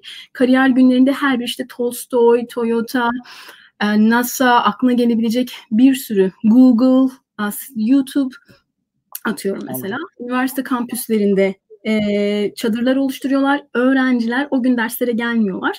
Böyle çok janti giyinip kravatıyla şeyiyle CV'si elinde sıraya girip o insanlarla mülakata giriyor. Bu mülakatlarda baktıkları bir şey, iki şey GPA'leri, not ortalamaları ve doğru düzgün yazıp yazamadıkları iş başvuruları. Ee, başarılı olan öğrencilerimiz zaten e, şeye gidiyorlar, e, internship'e gidiyorlar. E, ve bundan da para kazanıyorlar. Her biri çok güzel paralar kazanıyor. Bu şekilde. Çok teşekkür ederiz bildiğiniz için. Ben teşekkür ediyorum Kürşat'cığım. Bu, bu, kısmı, bu kısımda e, şeyi söyleyeyim ben. Şu anki ilk aşamamız e, yüksek öğretim, master ve doktora kısmıydı. Şu anki kısım e, lise, ortaokul ve e, ilkokul dönemleri nasıl Amerika'da? Bunlardan bahsedeceğiz biraz da. Kürşat'cığım istersen e, şimdi tam değişelim. Soruları ben sorayım. Seni dinleyelim. Buyurun. buyurun, ee, şey yapalım yine. İstersen bu sefer sen kendini tanıt. Sizi seni dinleyelim. Ee, nerede eğitim aldın şu anda? Neredesin? Neler yapıyorsun? Bize kendini tanıtırsan. Tabii ki. Adım Kürşat Altaylı. Ben İzmir doğumluyum. Doğma büyüme İzmirliyim. Ee, üniversiteyi Türkiye'de okuduktan sonra 2014'ün yani 2013'ün Aralık 2014'te 14'te Amerika'ya geldim master yapmak için. Ee, ben hocalarımın desteğiyle yani onların teşvik etmesiyle buralara geldim. Ee, öyle bir hayalim yoktu. Yani çünkü Amerika bizim için yani hayaller ülkesiydi. Ama geldikten sonra çok daha net görüyorsunuz. Yani hiçbir şey o kadar imkansız değil. İstediğiniz zaman yapabiliyorsunuz. Ee, tabii sağ olsun yani ailemin desteği, annem babamın, kardeşlerimin desteğiyle buraya geldim. Onlar olmasa zaten herhalde biz de burada olmazdık diye düşünüyorum. Buradan anneme, evet, kesinlikle. Yani ailenin, ailenin de çok önemli bu konuda. Yani evet. çünkü evet. onlar sizi teşvik ediyor, onlar sizi cesaretlendiriyor. Bunlardan dolayı da bunlar çok etkili. Kesinlikle. Ee, ben Amerika'ya geldikten sonra, master'a başladıktan sonra ben burada MBA yaptım. Yani Master of Business, Business Administration diyorlar. Ticaret üzerine eğitim yaptım. Finans üzerine eğitim yaptım. Şimdi e, 2000 16 2015 yıllarında 2016 yılında baktım ki çok pahalı. Yani şimdi belli bir yaşına gelmişsiniz. Ee, babadan da para isteme biraz artık yüzünüz e, yüzünüz kalmıyor yani isteyemiyorsunuz. Dedim ki ben ne yapabilirim Amerika'da? Yani benim bir şey yapmam lazım. Sonra burada tanışmış olduğum insanlar bana dediler ki e, madem sen matematik, ben matematik mezunuyum bu arada Türkiye'de matematik mezunuyum. Öğretmenlik değil matematik mezunuyum. Hangi okuldan mezun olduğunu da bize hatırlatırsın. Evet, ben mezun oldum. 2012 yılında. E, daha sonra işte Amerika'ya geldim. E, bu tabii gel, baktım ne yapabilirim? Yani çalışmam lazım, para kazanmam lazım. Sonra arkadaşlarımın tavsiyesiyle ben burada öğretmenlik sertifikası aldım. Yani buna K-12 diyorlar. Yani kindergarten'dan 12. sınıfa kadar e, matematik eğitim verebilecek sertifika, öğretmenlik sertifikası. Buralarda e, public school'lar diye adlandırılmış olduğumuz devlet okullarında öğretmenlik yapabilmek için sizin sertifikanız gerekiyor. Türkiye'deki KPSS sistemi gibi ama farklı. Çünkü. Türkiye KPSS sisteminde maalesef maalesef e, Türkçe, matematik, coğrafya ve tarih, inkılap. Bunlardan sınava giriyorsunuz. Ariyetten alan sınavına giriyormuşsunuz. Ben bunu e, Türkiye'deki e, çok sevdiğim bir eğitimle ilgili bir eğitimle ilgilenen bir arkadaşıma sordum. O bana kendi söyledi. Yani ben matematik öğretmeniysem neden coğrafyadan sınava gireyim ki? Ben neden tarihten sınava gireyim ki? Ama sen beni matematikte değerlendir. İşte burası onu yapıyor. Ben bu e, sertifikayı aldıktan sonra başvuru yapmaya başladım. Yani etrafındaki public school'lara, yerel okullara e, başvuru yapmaya başladım. Ve ilk önce part time olarak başladım. Tabii e, ilk başlangıçlar çok zor. Çünkü benim Türkiye'de çalışma deneyimim hiç olmadı. İlk deneyim Amerika'da oldu benim. O yüzden çok zor zamanlar geçirdim. İyi deneyimler de kazandım ama çok zamanlar geç, geçirdim. Çok rezil oldum Amerika'da. Ee, ama onlar işte onlar deneyim oluyor yani. Ondan sonra alışıyorsunuz. Kesinlikle. Ben öğrencilerime hep şey diyordum biliyor musun? Mesela öğrencilerime hep şey diyordum. İşte ilk mesela master ilk derse gireceğim. Diyordum ki işte arkadaşlar bu benim ilk İngilizce olarak anlatışım. Eğer bir yanlışımı görürseniz lütfen beni anında uyarın. Hani bu telaffuz evet. olabilir, gramer olabilir. Benim size öğrettiğim kadar siz de bana öğreteceksiniz şeklinde. Çok da güzel gittiğini düşünüyorum onu. Part time olarak başladım. Daha sonra e, full time olarak öğretmenlik bana teklif edildi. Ondan sonra full time matematik öğretmenliği başvurdum. Ben Amerika'da 5. sınıf, 6. sınıf, 7. sınıf, 8. sınıf, 9. sınıf, 10 ve 11. sınıflara bütün matematik derslerine girdim. Yani buralarda öğretmenlik yaptım. Ee, Amerika'da ben 6. yılım bu benim. 6. yılım. Ve şu an e, bir devlet okulunda matematik öğretmenliği yapıyorum. 8, 9, 10 ve 11. sınıflara derslere giriyorum Amerika'da. Ee, yani hayatım böyle başladı Amerika hayatım. Şu anda devam ediyor. Master'ımı 2018'de bitirdim bu arada. Ee, ve siz de bilirsiniz ki Amerika'da kendinizi eğitim olarak geliştirmeniz çok etkili. Yani bu sizin iş hayatınızda insanlarla olan diyaloglarınızda buna title diyorlar. Yani ünvanınız, ünvanınız çok etkili. Sizinle birisi konuşurken Amerikalı veya başka bir milletten o ünvanınıza saygı duyarak konuşuyorlar. Bu çok önemli. Bundan dolayı da mesela etrafında bir sürü Amerikalı var ama hiçbir şeyi bile yok yani master'ı dahi yok.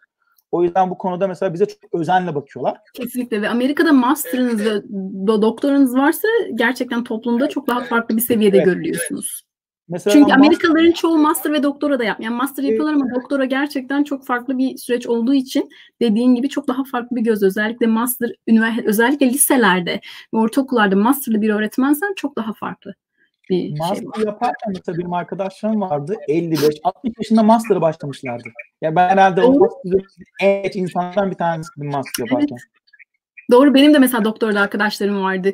40 yaşında, 50 yaşında hani insanların şey yok. e, okuma şeyi yok maalesef. Hani zaman kısıtlaması yok. Bildiğimiz şey diyor, ünvanınız yoksa çöp ya diyor. Esasında öyle değil. Yani şöyle, şimdi zaten biz 1-0 geriden başlıyoruz. Aksamın, aksamımız var, başka bir ülkeden gelmişiz. Ya bunlar hep size ön yargıyla bakılıyor. Yani sizin elinizde bir kodunuz var. Bu kozunuz da sizin matematik. Mesela benim kozum matematikti. Ben gerçekten matematik bilgilerime çok güveniyorum. Bu konuda şu an beni dinleyen öğretmenlerim varsa yani ben çok iyi bir eğitim aldım. Ben özel, özel okullarda okumadım. Devlet okullarında okudum. İzmir'de. Zübeyde Hanım'da okudum ilkokul, ortaokulu. Liseyi Gazi Lisesi'nde okudum. Ee, yani özel okullarda okumadım. Ama öğretmenlerim çok iyiydi. Yani öğretmenlerim hakkını yiyemem. Yani biz çok iyi eğitim aldık. Yani Tamaz eğitim çok iyiydi. Zaten şu an konuşacağız bunları. Yani Türkiye'deki eğitim sistemi, Amerika eğitim sistemindeki farklılıklar nedir? Yani bunları çok net görebiliyorum. Çünkü 5. 6. 7. 9. 10, 10 bin hepsine girdim. Hepsine burada eğitim veriyorum. Bundan dolayı da bunları e, yeteri kadar deneyim kazandığımı düşünüyorum. Evet daha kazanacağım daha çok deneyimler var. Ama ben e, kendime bu konuda çok güveniyorum. Matematiğime çok güveniyorum. Ben de sana katılıyorum. Ben de hani e, Van'da orta ilkok, e, ilkokul, ortaokul ve liseyi Van'da okum, okudum. E, ama o kadar iyi bir eğitim aldım ki benim dil bölümünü seçmem veya İngilizceci olmamda ortaokul ve lisedeki e, özellikle ortaokuldaki İngilizce hocalarımın payı çok büyüktür. Ve liseyi de İngilizce bu e, bölümünde okudum aynı okulda. Evet. Bir ar, e, e, şey e, izleyicimiz evet. etiket olayı var mı yani orada diyor. Evet, evet etiket yani olayı var. Olayı var. Evet. Etiket olayı evet. Mesela ben çoğu e, şeyimi aldığımda Kesinlikle ve mesela bana gelen çoğu postalarımda bile hani doktor Tülin Ece olarak geliyor. Hani o gerçekten insanların evlilik davetiyelerinde bile iki kişi doktorsa doktor ve doktor evet. bilmem nenin evlilik töreninde sizlere Çok güzel bir şey. Yani çünkü sen benimle konuşurken ona göre lütfen konuş demek. Bu çok güzel bir şey. Yani Kesinlikle. en azından mesela ben ben master bitirdikten sonra inanır mısınız Amerikalılarla veya burada yaşayan başka tür milletteki insanla konuşurken master'ımı bitirdikten sonra o güvenim çok daha konuşmak çok daha başka. Kesinlikle. Kesinlikle katılıyorum. Evet, çok daha öyle. farklı bir bakış açısı e, alıyorsun. Olayları çok daha farklı pers- perspektiflerden görmeyi öğreniyorsun ve aldığın eğitim sana inanılmaz bir ego demeyelim de özgüven yaşatıyor. Bu gerçekten çok farklı. Peki teşekkür ediyorum. Ben sana ikinci bir sorum var. Ee, mesela bir hani yüksek eğitim kurumlarından bahsettik. İşte college'lardan bahsettik. Hani community college dedik, liberal arts college dedik. Peki Amerika'da kaç çeşit okul var? Her birinin evet. işleyişlerinden bize biraz bahseder misin? Evet. Şimdi Amerika'da esas üç tür okul var. Evet. Bir tanesi private school diye adlandırılmış olduğumuz özel okullar. Yani Türkiye'deki Hı-hı. özel okullar. İkincisi public school diye adlandırılmış olduğumuz devlet okulları. Hı-hı. Ve üçüncüsü de charter school diye adlandırdığımız olduğumuz, charter school diye adlandırdığımız olduğumuz public charter school. Evet. Peki şimdi bunların farkları ne? Ben bunlardan size bahsedeyim. Bir de e, burada iki tür daha okul var. Birincisi homeschooling, homeschool. İkincisi de e, dini okullar. Yani Türkiye'deki imam hatipler diyebiliriz. Burada da var. Amerika'da da dini okullar var. Yani Amerika'da olsa burada var. Tabii işleyişleri biraz daha farklı ama bunlar özel okullar geçiyor. Yani e, Türkiye'deki imam hatip adlandırdığımız okullar Amerika'da özel okullar geçiyor ve bunlar non-profit organization yani kar amacı gütmeyen okullar olarak gözüküyor. Ve bunlar tuition diye adlandırmış olduğumuz insanları e, ne diyorsunuz ne diyorduk onlara? E, yani tuition'la destekleniyor. Yani onlara belli bir şeyleri var, ta, e, ücretleri var. O ücretlerle geçiyor. Yani devlet destekliyor bunları. Hı hı. Şimdi e, public school'la charter public school arasındaki fark nedir? Şimdi öncelikle charter school'lar ikisi de aynı. İkisi de public yani devlet tarafından desteklenen ikisi de okul. Peki niçin charter school diyor? Aslında demelerin nedeni şu. Devlet Amerika'da çok fazla e, varoş yerler var. Bu varoş yerlerde devlet maalesef başarılı olamadığı zaman yani eğitim kalitesi yükseltemediği zaman şunu yapıyor. Diyor ki burada eğitim şirketleri var. Diyor ki siz gelin diyor ben size bütün diyor şeyinizi karşılayacağım. Eğitim masraflarınızı karşılayacağım. Siz burada kendi kadronuzu kurun ama diyor sene sonunda sizi sınav yapacağım diyor. Evet. Eğer bu sınavda benim o eyalette, o bölgede bulunan okullarımdan ortalamasından daha düşük alırsanız diyor o okulu kapatırım diyor. Bundan ben şimdi öyle bir okulda çalışıyorum. Public Charter School'da çalışıyorum. Hı hı. Peki aradaki fark ne? Birincisi iki tarafta öğretmen olabilmemiz için public school'da charter öğretmen olabilmemiz için ikisinde de öğretmen sertifikanız olmak zorunda. Eğer Çok... öğretmen yoksa öğretmen olamıyorsun. Evet ve şöyle belirtelim her eyalette de mesela New York eyaletinde öğretmen sertifikası ile Chicago'da çalışamıyorsunuz. Evet, hani bu ayrıca mesela avukatlık da aynı şekilde. Avukatlığınızı mesela diyelim ki Chicago'da avukat olarak çalışıyorsanız New York'a gidip ben avukatlık yapmak istiyorum diyemiyorsunuz. Şey Oranın sınavlarını almak zorundasınız. Bunu biraz açıklarsan. Amerika'da eyalet sistemi olduğu için her eyaletin kendi kuralları var. Evet. Mesela New York'un öğretmen sertifikasıyla başka bir şöyle diyeyim ben size New York esasında çok güçlü yerlerden bir tanesi. O yüzden çoğu eyalet onun şeyini sayıyor. E, sertifikasını sayıyor. Ama mesela e, mesela herkes Chicago'da almış olduğu öğretmen sertifikası New York'ta öğretmenlik yapamazsınız. Ve New çok enteresan. Kesinlikle mesela ben doktor alayım diyelim. Hani eğitim kurumunun en üst e, şeyiyle, title'ıyla öğretmenlik daha yapamıyorum. Çünkü bana diyor ki sen doktorunu almışsın ama öğretmenlik yapmak istersen öğretmenlik sertifikası almak zorundasın. Evet, aynen. Mesela ben New Jersey yaşıyorum şu an. New Jersey yaşıyorum ve New Jersey'de yaşıyorum. Ee, New Jersey'de charter school'lar e, bir board diyoruz. O bölgede yaşayan insanların gelip, gelip oluşturmuş olduğu bir grup var. Biz buna board diyoruz. Bu board yani grup yani bir grup insandan oluşan, o bölgede yaşayan insandan oluşuyor. Bu insanlar okulu sorguluyorlar. Yani mesela evet. charter açıldı.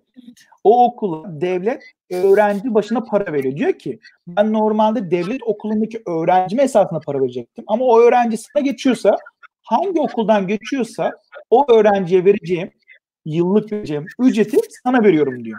Bütçesini sen ayarlayacaksın diyor. Bundan daha fazla vermeyeceğim diyor. Bundan dolayı public charter school'larda öğretmenlerin kontratları 10 ay üzerinden yapılır.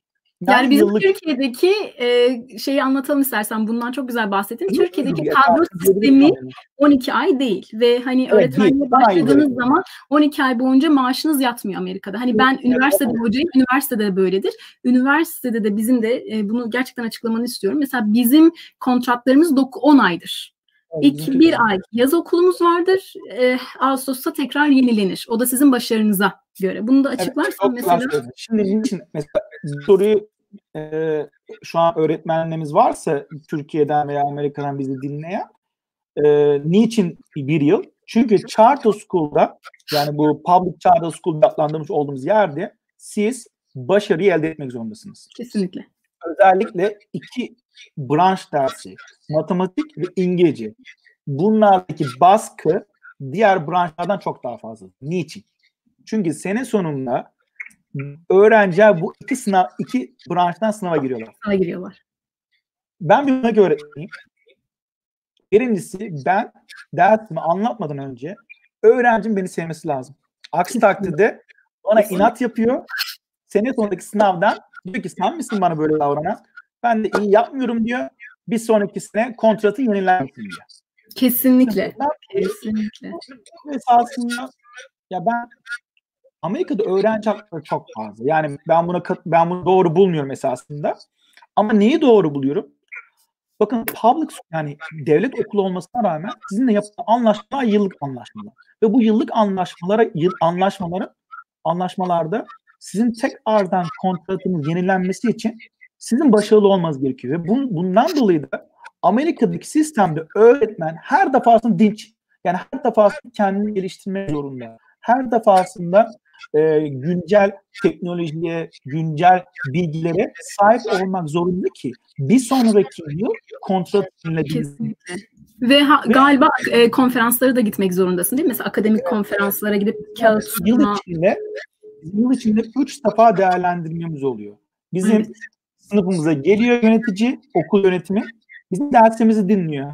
Derslerimizi izliyor bana diyor ki şunu yapsa daha iyi olur Mr. Alpaylı diyor. Şunu yapmanız daha iyi olur diyor.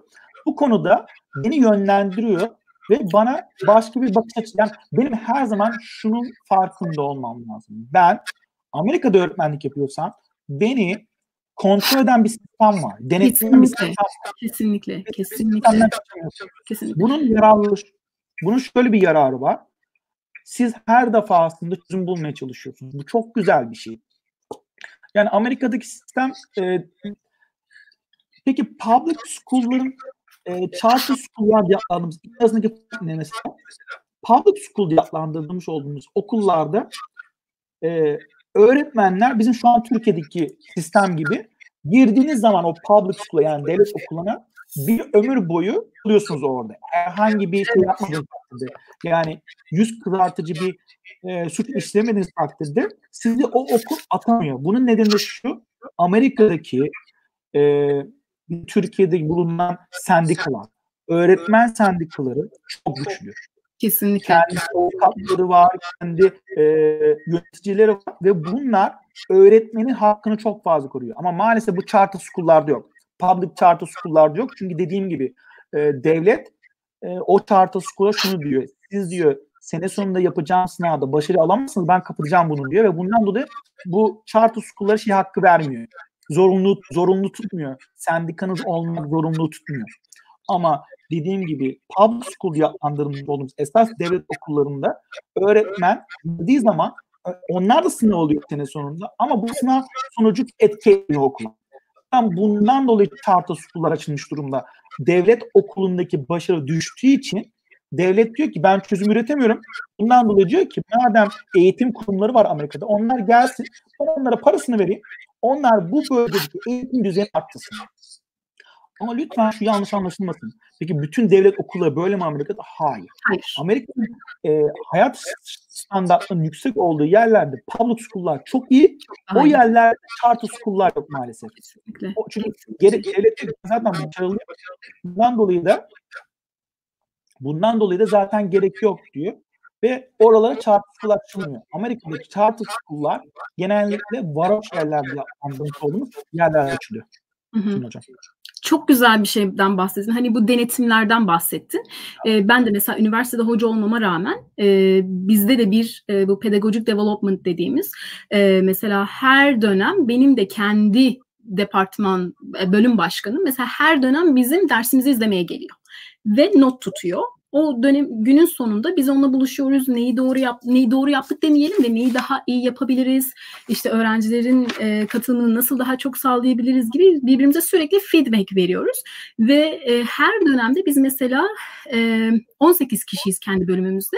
18 kişi sürekli birbirinin dersini izliyor ve birbirimize evet. feedback veriyoruz. Hani ben mesela şunu şöyle yapardım ama bu da çok güzel oldu. Hem insanlar dersi nasıl işliyor onu görüyorsun hem de birbirimize nasıl feedback verebiliriz? Bunu nasıl daha da güzelleştirebiliriz? Nasıl daha iyi yapabiliriz? Ve mesela bizim her pazartesi günü bölüm toplantılarımız var. iki saat boyunca.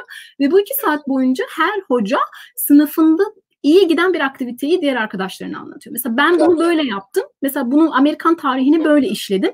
İşte e, bu video oyununu kullandım. Şöyle yaptım. Çünkü öğrencilerin de birazcık artık hani geleneksel, traditional dediğimiz geleneksel sınıflardan bu kalıpları yıkmak lazım. Teknoloji hani bu açıdan gerçekten çok önemli.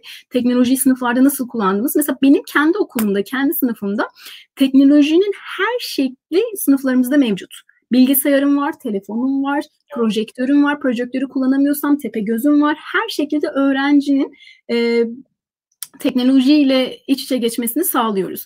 Benim sana başka bir sorum var. Mesela çok güzel bir denetim sisteminden bahsettin Amerika'da. Sence Türkiye'deki eğitimin e, biraz gerilemesinde, mesela benim zamanımda, senin zamanında muhtemelen müfettişler vardı. Değil mi? Müfettişler gelirdi, öğretmenler hazırlanırdı, okul hazırlanırdı bir müfettiş kavramı vardı. Sence Türkiye'deki eğitimin biraz geriye gitmesi bu müfettiş kavramlarının... Mesela lütfen şu an Türkiye'de bizi dinleyen öğretmenleriniz varsa yani bana lütfen kırılmasın da ben kendi düşüncemi söylüyorum. Şimdi bakın e, biz bu virüs yani birincisi şunu önceden söyleyeyim ondan sonra konuya gireceğim. Tamam. E, ben bir araştırma yaptım. Bu virüs olayları ne zaman ortaya çıktı ve nasıl e, ülkeler hemen önlemlerini aldı. İlk mesela Çin'de ilk olay 1 Aralık'ta o şey geliyor. 1 Aralık'ta meydana geliyor. 31 Aralık Dünya Sağlık Örgütü'ne bildirim yapıyorlar ve evet. bakın Ocak 23'te bütün okulları kapatıyor Wuhan. Ocak 23'te bakın çok geç. Nereden baksanız 2 ay bir süreden sonra kapatıyor. Evet. Ee, bakın İtalya'ya baktığınız zaman ilk şey olay 31 Ocak'ta meydana geliyor. 8 Mart'ta şeyi kapatıyor. Okulları kapatıyor. Nereden baksanız bir buçuk ay. Fransa 24 Ocak'ta ilk olay çıkıyor. 12 Mart'ta okulları kapatıyor. Neredeyse bir buçuk ay. Almanya 27 Ocak'ta olay ilk kez çıkıyor. 13 Mart'ta okulları kapatıyor. İspanya 31 Ocak 14 Mart'ta kapatıyor. Bakın Amerika. Amerika'da ilk olay 20 Ocak'ta meydana geliyor. Okullarımız bizim 15 Mart'ta kapanıyor. 15 Mart Cuma günü Trump zaten ulusal şey ilan etti. O hali ilan etti. O hali ilan Bakın çok geç kapandı. Türkiye, bakın bu Türkiye bu konuda çok iyi önlem aldı. Yani hani derler ya yiğidi öldürün hakkını verin diye. Türkiye'de ilk olay 11 Mart'ta meydana geliyor ilk olay. Ee, ve okullar 16 Mart kapanıyor. Evet. 16 Mart kapanıyor. Hemen kapanıyor. Bakın bu çok özel bir şey. Çok gerekli bir şey. Şimdi ama bundan sonraki süreç nasıl yönetildi? Eğitim konusu hakkında konuşuyorum. Bakın lütfen yani bunu lütfen yanlış anlamasınlar. Bu benim özel yani kendi düşüncem. Bakın ben ben kendi öğrencimi ben tanırım. Çünkü ben onunla iç içeyim. Eylül yani doğrusu ben e, mesela Amerika'da Eylül ayında başlıyor diyelim eğitimler. Eylül ayından Mart ayına kadar ben öğrenciye ders veriyorum. Ben tanıyorum o öğrenciyi. Nasıl anla, anlar o konuyu, öğrencim mesela 50 dakika oturabilir mi, oturamaz mı, özel bir şeyi var mı, ee, öğrenme engeli var mı, bunu ben biliyorum. Hangi konudayım, hangi konuyu işleyeceğim bunu ben biliyorum. Bunu yani devlet bana şeyi verir. Yıllık planımı verir. Planı verir. Ne anlatmam gerektiğini söyler ki Amerika'da da böyledir. Ama diğerine karışamaz. Ben istersem bu konu yani istediğim konudan başlarım ama benim sorumluluğum şudur. Benim sorumluluğum o yıl içinde ne anlatmam gerekiyorsa konuda onu anlatmam lazım. Evet. Şimdi bakın Türkiye'de milyonlarca öğretmenimiz var. Çok değerli öğretmenlerimiz var. Peki biz niçin bu öğretmenlerimizi aktif olarak kullanamıyoruz bu virüs olayında? Kesinlikle. Çünkü her şey banttan yayınlanıyor. Bu konuda açıklama yapmanı istiyorum. Çünkü bildiğim kadarıyla hani Instagram'da kendi arkadaşlarımın çocuklarından gördüğüm kadarıyla e, çocuklar banttan bir eğitimle gidiyorlar. Ve bu banttan eğitim senin dediğin gibi e, bir hocanın anlattığı ve bu İstanbul'daki, İzmir'deki, Van'daki, Diyarbakır'daki bütün çocukların izlediği tek bir kişi var. Senin dediğin Evet. çok doğru. Öğrenciyi tanımayan bir öğretmenin anlattığı bir olay söz konusu. Bir ders söz konusu. şimdi şöyle bakın ben bunu yapıyorum. Gelelim kendime örnek vereyim. Evet. Bakın ben mesela bizim okullarımız da kapandı. Biz de şimdi hani siz baş bu sohbetimizi başlangıçta dediniz ya ya ben şu an mesela okul kapandıktan sonra online eğitimdeki üzerindeki baskı normal eğitimden daha fazla. Daha fazla. Kesinlikle. diyorum. Kesinlikle. Şu anki üzerindeki baskı çok fazla. Çünkü niye? Her defa beni takip ediyor. Yöneticim beni her gün Kesinlikle. e-mail ile telefonla kontrol ediyor. Diyor ki ne yaptın? Kesinlikle. Mail attın mı? Bakın ben özel okulda çalışmıyorum. Ben bir devlet okulunda çalışıyorum. Bana diyor ki siz diyor şey yaptınız mı diyor Altay'la. Bu öğrencinin ödevlerini kontrol ediyor musunuz diyor. Ödevler konusunda herhangi bir eksiği var mı diye bana sorguluyor. Ben ne yapıyorum? Şimdi Amerika'da her öğretmenin kendine özel sınıfı var. Mesela benim sadece bir sınıfım var. O sınıf matematik sınıfı olduğunu öğrenci biliyor. Yanlış bilmiyorsam bizim zamanımızda öyle. Türkiye'deki eğitim sistemi öğretmen dolaşıyor. Öğrenci sabit, öğretmen dolaşıyor. Aynen öyle. Tabii. Aynen öyle. Bizim okul, yani buradaki sistemde öğretmenin sınıfı var. Bu o sınıf öğretmenin kendi yaşam yeri. Yani çünkü bütün bir eğitim yılı boyunca o sınıfta kendisi geçiriyor hayatını. Mesela benim sınıfıma öğrenci girdiği zaman duvarlarda, etraflarda matematikle ilgili formüller, matematikle ilgili bilgiler görüyor. Yani başına bir sınıf. Kendisi matematik sınıfında olduğunu hissediyor. Yani bunu görüyor. Bunu hissediyor. Ve şimdi ben mesela bu şey zamanda uzaktan eğitim esnasında gidiyorum sınıfıma. Okullar kapalı ama bize hala okula girme iznimiz var. Okuluma giriyorum. Ben kendimi tek ders çalışıyorum. Bir YouTube kanalım var. O YouTube kanalıma yüklüyorum dersimi ve öğrencime diyorum ki evet bu konumuz bu. Bunu Google Classroom. Ya şimdi bakın 21. yüzyılda yaşıyoruz. Teknolojiyi lütfen kullanmamız gerekiyor. Yani eğer mesela ben şeyi çok sevmiştim. Türkiye'de ak- bütün okullar akıllı tahtalarla donanacak diye böyle bir şeyler var. Ben gurur duymuştum. Hala Amerika'da akıllı tahta kullanmayan normal şu an duyuyor musunuz? Görüyor Geri geldik. Tamam şu an evet geri an Amerika'da hala akıllı tahta olmayan eski mantıkla devam eden okullar var. Devam eden okullar var. Doğru. biz akıllı tahtalara geçtik. Evet çok doğru bir karar. Ama biz bunu kullanabiliyor muyuz mesela akıllı tahtaları? Yani akıllı tahtalara koymak sadece çözüm değil ki. Yani biz mesela şu an 100 yıldaki teknolojiye ayak uydurabiliyor muyuz? Bakın biz bizim zamanımızdaki eğitim sistemiyle bu geri, yeni gelen gençliği nesli eğitemezsiniz. Yapamazsınız. Niçin biliyor musunuz? 3 yaşındaki çocuk elinde iPad var, iPhone var. Yani siz siz öncelikle siz bu yaştaki öğrencileri yani küçük yaştan itibaren teknoloji nasıl kullanılır, nasıl efektif, yani etkili bir biçimde nasıl bilgilere ulaşılır bunu öğretmek zorundasınız. Kesinlikle. Kesinlikle. Okullarda iPad şeyleri var, iPad'leri var. Yani Chromebook'ları var. Ve ben mesela benim iki ders üst üste dersim olduğu zaman bunu double period diyorlar. İki saat üst üste dersim olduğu zaman her, bu arada bizim okullarımızda 40 dakika derslerimiz. 40 dakika. Ve 50 dakika. Evet. 3 dakika Öyle 10 dakika 20 dakika yok. Evet öğle yemek arası var. Ama böyle 10 dakika 20 dakika aralarımız yok. 40 dakika dersimiz 3 dakikada aramız var. Bakın hiçbir öğrenciye bu bu bu e, bu çağdaki teknoloji çağındaki hiçbir öğrenciye kolay kolay 40 dakika 80 dakika ders anlatamazsınız. Mümkün değil. Ben, ben bile biliyorum. Bir şeyi 80 dakika odaklayamıyorsunuz maalesef. Benim 20 dakika ders anlatımım var. 20 dakika dersimi anlatırım. Geri kalan e, zamanımda öğrencime teknolojiyi kullanarak birçok teknolojik şeyler var. E, siteler var. Mesela onları da verirsin sizinle birlikte. Kullanmış olduğum listelerimiz var. Bunlar ücretsiz öğretmenleri. Kesinlikle. Mesela, mesela şu an e, aklıma gelen Khan Academy var. Khan Academy çok etkili bir sistem ve e, öğrenciler bunları kullanarak aktif olarak bilgisayarda matematik öğreniyor. Hemen o esnada pratik yapabiliyor. Pratik yapabiliyor. yapabiliyor. Şimdi bunları yapmadığınız takdirde eğitimi maalesef eğitim eğer eğlenceli hale getirmediğiniz takdirde eğitimimizi geliştiremeyiz. Çünkü teknoloji yanındayız. Teknolojiyi yok sayamazsınız. Yani bunu bakın bunu maalesef diyorum. Çünkü teknoloji bizim zamanında teknoloji yoktu. Biz habire yazardık. Bizim bu yüzden geleneksel classroomlarımız vardı. Geleneksel sınıf tipi dediğimiz sınıflar öğretmenin ha. anlattığı, bizim sürekli not aldığımız. Evet, evet. evet. Bizim zamanımızda öyleydi ve biz mesela şu an Amerika'da öğrenciler not tutmuyor. Yani en büyük sorun. Aynen evet, öyle. habire yazıyorlar. Mesela ben ne yapıyorum biliyor musun? Not tutmadıkları için. Mesela ben o gün ders ne anlatacağım? Smartboard yani akıllı tahta ne anlatacağım? Onun çıktısını alıyorum. Öğrencime teker teker veriyorum.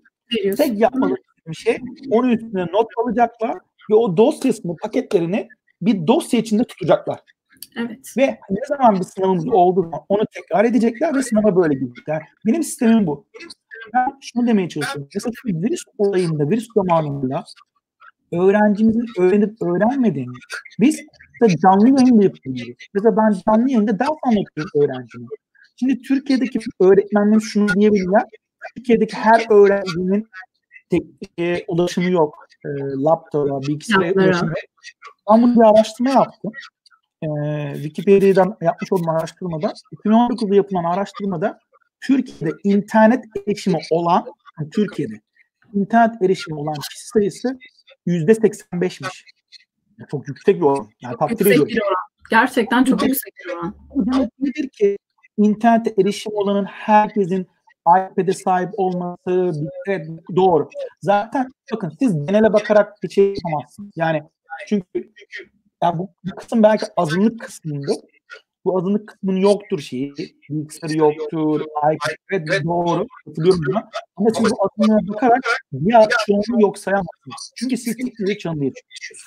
Teknoloji çağında teknoloji nimetlerinden yararlanmak zorundasınız. Ve burada çok güzel bir şey söyledin. Bu arada bir um, Taner e, arkadaşım çok güzel bir yorum yapmış. Bilgisayarı olmayan öğrencilerim var diyor. Taner hocamız da e, Erciyes Üniversitesi'nde e, e, hocamızdır, profesörümüzdür.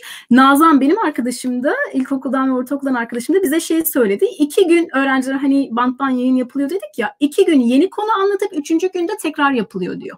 Yani öğrenciye hani herhalde hiçbir şekilde pratik imkanı sunulmadan senin dediğin gibi hani öğrenciyi tanımayan bir insanın banttan yayın yapması öğrencilerin bunu dinlemesi, farklı senin öğrencine anlatman, senin tanıdığın, senin öğrencini tanıyan bir öğrencinin, öğretmenin anlatması çok daha farklı diye düşünüyorum. Banttan önce Taner Bey'in de sorusuna cevap vereceğim.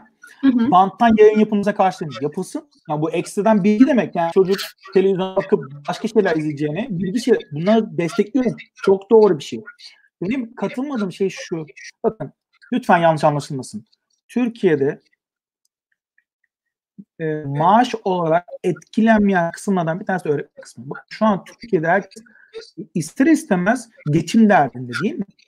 Mesela evet. bakın ben çok şükür ki mesela benim hiçbir kesintim olmadı. Mesela şu an Amerika'daki işsizlik oranları çok fazla artıyor. Doğru. Ama ben burada öğretmen olarak benim maaşım sıkı sıkı yatıyor. Hiçbir etkisi yok. Hiç bana bir etkisi yok. Yani şöyle etkisi var.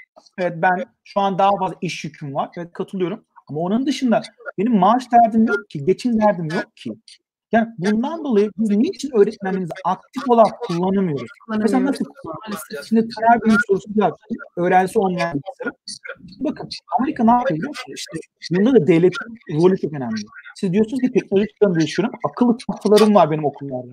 Bizim okullarımızda her sınıfa ait Chromebook'lar var. Chromebook şeyi var, kasası var. O Chromebook'larda öğrencileri Türkiye'de bu başlamış, ben araştırdım. Türkiye'de bu sistem başlamış esasında ama daha sonra öğrenciler kırdıkları için, bozdukları için bu sistemden vazgeçiyor. Öğrenci kıracak. Biz niçin vazgeçiyoruz? Çok basit bir şey.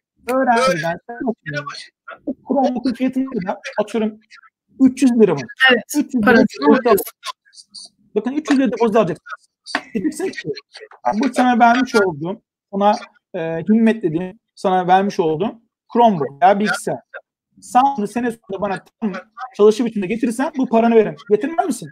O zaman o, o parayla yeni bir tane alırım. Bu devlet kendi sınıfında olmak zorunda.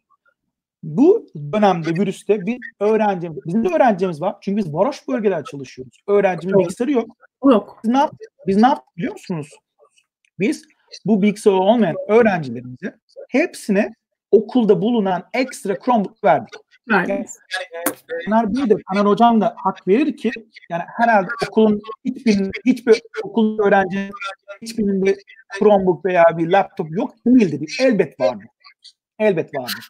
Şimdi e, burada bir anti parantez açmak istiyorum. En kötü mesela bizim okulumuzda Purdue'de e, bizim e, bilgisayarlı sınıflarımız var. Lab diyorlar, bilgisayar lab diyorlar ve genellikle kompozisyon derslerinin veya hocanın ders e, derste aktivite yaptıracağı sınıflar genellikle bu e, bilgisayar lablarında yapılıyor. Yani evet. öğrenci mesela kendi bilgisayarını getirmiyorsa, aa ben bilgisayarımı getirmedim deme şansı yok. Çünkü zaten o bilgisayar lablarında herkesin logon olup kendi şifresiyle logon olup kendi bilgisini girip kullandığı bilgisayar odalarımız var. Şimdi bakın Amerika'da her okulun bütçesi var ve bu bütçeler öğrenci sayısına göre yapılır. Evet. Yani kaç öğren mesela ben size dediğim gibi dün bir eğitimci tanıdığımla konuştum. Yani bana söylemiş oldukları beni çok korkutuyor. Hala Türkiye'de sınıflarda 40 kişilik devlet okulunda 40 kişilik eğitim yapılmış. Yani çok kötü. Bu kadar öğretmen öğretmenimiz var bekleyen. Niçin okullar eğitimlere önem vermiyoruz? Niçin biraz da arttırmıyoruz? Bakın siz de Türkiye'den geldiniz. Ben de Türkiye eğitimden geldim. E ben çok güzel eğitimler aldım. Ya demek ki biz bunları yapabiliyoruz. Çok yani, güzel. Hatta altta bir şeyimiz var buna ek olarak. Çünkü devlet okullarında okuyan öğrencilerin, ailelerinin ekonomik durumları aynı olmayabilir. Depozito alınması çok olumlu bir durum değil diye bir yorum geldi ama şöyle katılmıyorum. Her okulda aile bir okul aile birliği adı altında çok fazla fahiş fiyatlar toplanıyor. Bu paralar nereye gidiyor? Bu paralarla öğrencilerin bilgisayarlar alınabilir, öğrencilere Amerika'daki okul aile birlikleri nasıl çalışıyor? Aynısı var. Evet, Amerika'da evet. okul aile birlikleri nasıl çalışıyor biliyor musunuz? Nasıl çalışıyor biliyor musunuz? Bu aile birlikleri bir araya geliyorlar. Bu aile birlikleri bir araya geliyorlar. Okul etkinlikleri yapıyorlar. Mesela ne yapıyorlar?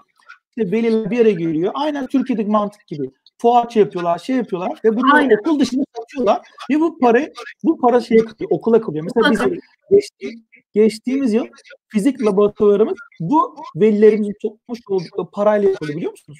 Doğru, doğru, doğru, doğru.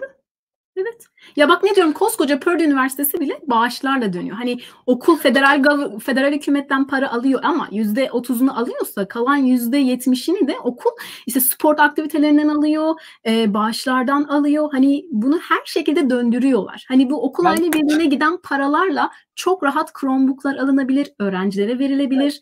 Hayır devlet bunu yapacak. Yani devlet buna bütçe ayırmak zorunda. Ve Kesinlikle. Sorumlu tutacak okulu. Sen bunun sorumlusun. Ben sana verdim mi? Verdim. Sen sorumlusun bundan. Yani biz Kesinlikle. bunu niçin yapmayalım?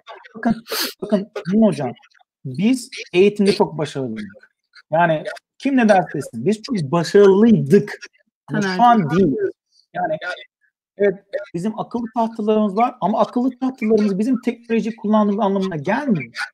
Kaç tane öğrencimizin bizim e, kaç tane öğrencimiz bizim e, teknoloji iç içe. Yani teknolojide eğitim kaynakları biliyor. Bunu bırak bak ben çok net hatırlıyorum. E, Taner hocamla konuştuğumuzda hatta çoğu arkadaşımdan da bildiğim kadarıyla üniversitede öğrenci yani lisede Türkiye'de öğrenciler bırak teknolojiyi kalemiyle okula gelmiyor. Kalemiyle bak kalemle okula gelen öğrenci yok. Oradan buradan sınava girince oradan buradan kalem isteyen öğrenciler var. Hani şey çok derin aslında. Problem çok daha derin. Yani evet Türk, bakın Türkiye'de tabii ki de bir kesim var. Yani belli bir yaşam standartı olmayan, bakın bu Amerika'da da var. Amerika'da yaşam kalitesi çok kötü olan öğrenciler de var. Ama bakın siz bunları bunları yani bunu bir sorun olarak ortaya koyarak diğer çocukları yok sayamazsınız. Saymamalısınız. Yapamazsınız. Çünkü eğer 21. yüzyılda yaşıyorsanız, teknoloji çağında yaşıyorsanız siz eğer ben diğer dünya ülkeleriyle yaşayacağım diyorsanız bunları yapmak zorundasınız. Hocam? Yani bunun çözümü var bakın. Bu, Kesinlikle. Biz yaptık bunu. Kesinlikle. Zamanında biz eğitimden geldik. Biz yaptık bunu. Türkiye'de benim bana sorarsanız kesinlikle bir an önce kontrol sistemi yüklenmesi lazım. Yani müfettişlerin o sisteme dönülmesi lazım. Çünkü hiçbir mekanizma kontrolsüz olduğu takdirde ya yani amaca ulaşamaz.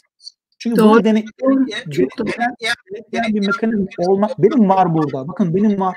Bazen kafayı yiyorum böyle. Habire başında yani ya bizim üniversitede bile bizim bölüm başkanımız bu e, Messenger Team denilen bir bölümde hani WhatsApp gibi değil ama bilgisayar üzerinden şey oluşturdu, grup oluşturdu. Her gün oradan bizi kontrol ediyor. Ne yaptınız? Dersinizi koydunuz mu? Şöyle yaptınız mı? Böyle yaptınız ve her gün ders anlatma raporunu ben ona sunmak zorundayım. Mesela işte hazırlıyorum. Benim günlük ders raporum böyle. Şu kadar öğrenci katıldı, şu kadar öğrenci katılmadı. Hani bunu rapor etmek zorundayım. Beni denetleyen bir e, rektörümün yanında kendi bölüm başkanım da dahil olmak üzere e, denetleyen bir sistem var. Evet. Yani e, demek istediğim şey şu.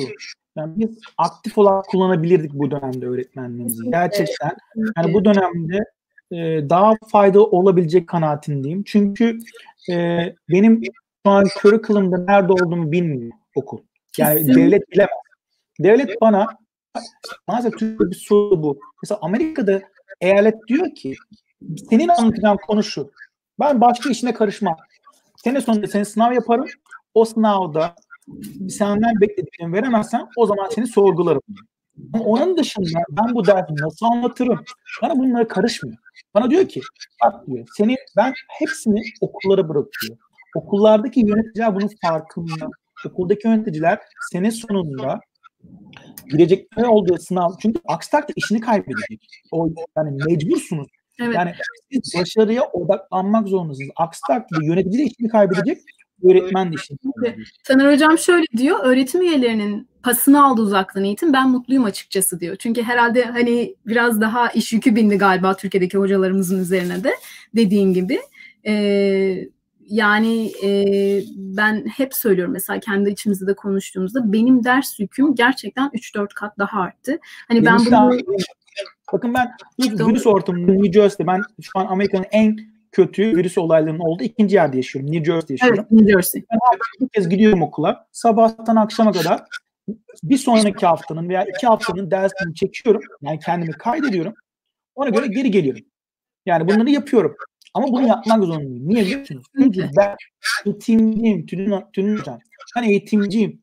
Yani bakın öğretmenlik kolay meslek değil. Çünkü değil. bizim ben kendi öğretmenlerimden böyle gördüm. Yani biz eğitim alırken gerçekten yani onların haklarını ödemem. Yani mesela dün yine bir öğretmenimle görüştük. Çok uzun bir zamandan sonra.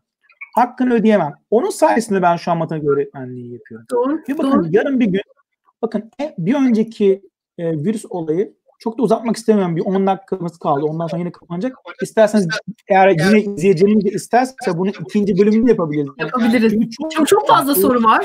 Çok fazla, çok derin bir konu ve e, kar- gerçekten e, çok fazla soru var elimizde ya- yanıtlamak istediğimiz ve bilgi akışını sağlamak istediğimiz. Evet, çok soru var. Hem YouTube'dan hem de Instagram'dan çok soru var. Evet. Yani çok derin bir konu. Ee, ben bunu hep bir araya tutmak istemiyorum. Yine sizde Gene mesela ik- eğer e, şey olursa ikincisini de yaparız istek gelirse. yerde yine bir tane daha yapabiliriz. Yani Yapabiliriz. Değişiyor. Biz sadece eğitimi, e, bu virüs ortamında eğitime insanların dikkatini çekmek istiyoruz. Yani bizim amacımız bu zaten. Sizin Ve burada aslında şuna da değinmek Bu. istiyorum. Ee, çok güzel bir şeyden bahsettin. Hani iş yükümüzün artmasından bahsediyoruz ama bu iş yükümüzün artması sadece ders hazırlamak, ders programı yapmak, öğrenci ödevlerini vermek, quiz hazırlamak vesaire değil. Bizim benim ve senin de eminim Türkiye'de şey Amerika'daki hocaların iş yükünün artması aslında bizden istenen öğrencinin ruh durumunu da kontrol altına almak. Evet. Yani öğrencilerimizle sürekli. Öğrencinin üzerine lütfen baskı kurmayın. Lütfen flexible olun diyorsun, diyorlar bize. Kesinlikle, kesinlikle ve bize gelen maillerin, bizim mesela hem rektörümüzün hem bölüm başkanımızın attığı maillerin en büyük başın, e, maillerin çoğunun başında lütfen öğrencilere gereğinden fazla iş yükü vermeyin.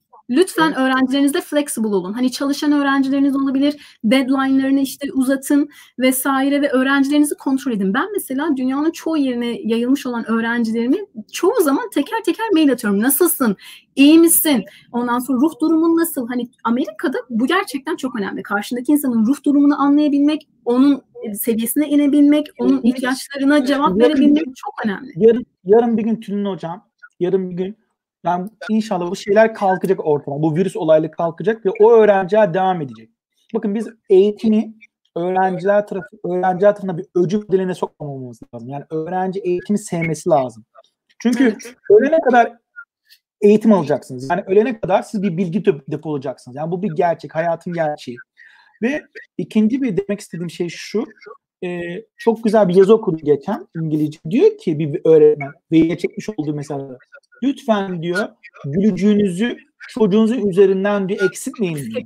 Bugün ben diyor bu öğre- öğrencimin anlamadığı konuyu okul açıldıktan sonra yine anlatırım diyor. Konu öğrenilir diyor. Ama öğrencimin psikolojisi, öğrencimin diyor e, eğitime karşı ön yargını kıramam diyor. Bu o Kesinlikle. kadar güzel bir şey ki. Yani çok güzel bir durum. Şimdi baktığınız takdirde, şu anki mesela durumlara baktığınız takdirde e, benim yöneticim beni her gün sorguluyor. Ve şunu da diyor ama sakın diyor öğrenciye baskı kurma diyor. Öğrenci evet ödevini ver, o yapsın ve bunu takip et diyor. Bu takibi de bırakma diyor. Yani ve bu esna bakın eğitimde kesinlikle veliyi dahil etmeden başarılı olamazsınız. Olamazsınız. Yani Kesinlikle. sizin e, Kesinlikle. öğrenciye vermiş vermek, vermek istediklerinizi hissetmediği takdirde siz bu konuda şey yapamazsınız, başarılı olamazsınız. Tek Ve bildiğim, kadar, bilin- bildiğim kadarıyla e, Amerika'da üniversite ve lisede e, burada hani çok yakın e, ahbaplarımızın da çocuklarının e, gittiği okullardan biliyorum. E, öğrencinin bütün bilgisine ne kadar ödev yaptığını, hangi ödevini yapmadığını, hangi dersinden A aldığını, B aldığını aile takip edebiliyor. Çünkü öğrencinin sisteminin hem kullanıcı adı hem de şifresi ailede var. Aile adım adım takip edebiliyor. İsterseniz bir 5 dakika daha konuşalım, ondan sonra sonlandıralım. Ee, yani şey, aslında izleyicilerimiz. İkinci izleyicilerimize teşekkür ediyorum. Yani şu an takip ediyorum iki taraftan da. Yani hep aynı şekilde yani sabırla bizi dinlediler. Ee, sorular soruyorlar gerçekten. Belki Aa, soruların hepsine cevap veremiyoruz Cevap ama. Aslında soruların ben hepsini not aldım. Çok güzel sorular geldi. E, bunun için özür diliyoruz. Şey Bunlara. Daha çok vereceğiz. Çok, mesela Ondan hani dormlar zor kesinlikle. Çünkü flip learning yok değil mi diye bir soru aldık. E, community school'lar ne anlama geliyor? Mesela İstanbul'da International Community School varmış. Ne anlama geliyor diye bir soru aldık. Dormlar zorunlu mu? Hani public charter school'larda bulunan dormlar zorunlu mu diye çok güzel sorular aldık. Ve Şöyle- daha çok fazla soru var. Bunların hepsini ikinci şeyde yayınımızda Bir sonraki şeyde yapalım doğru diyorsunuz.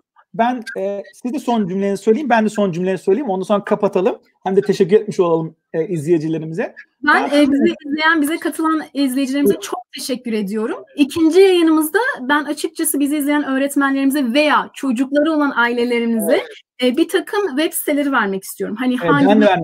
Evet, kullanabilirler, nereden izleyebilirler, bundan yapalım, bunu mutlaka verelim.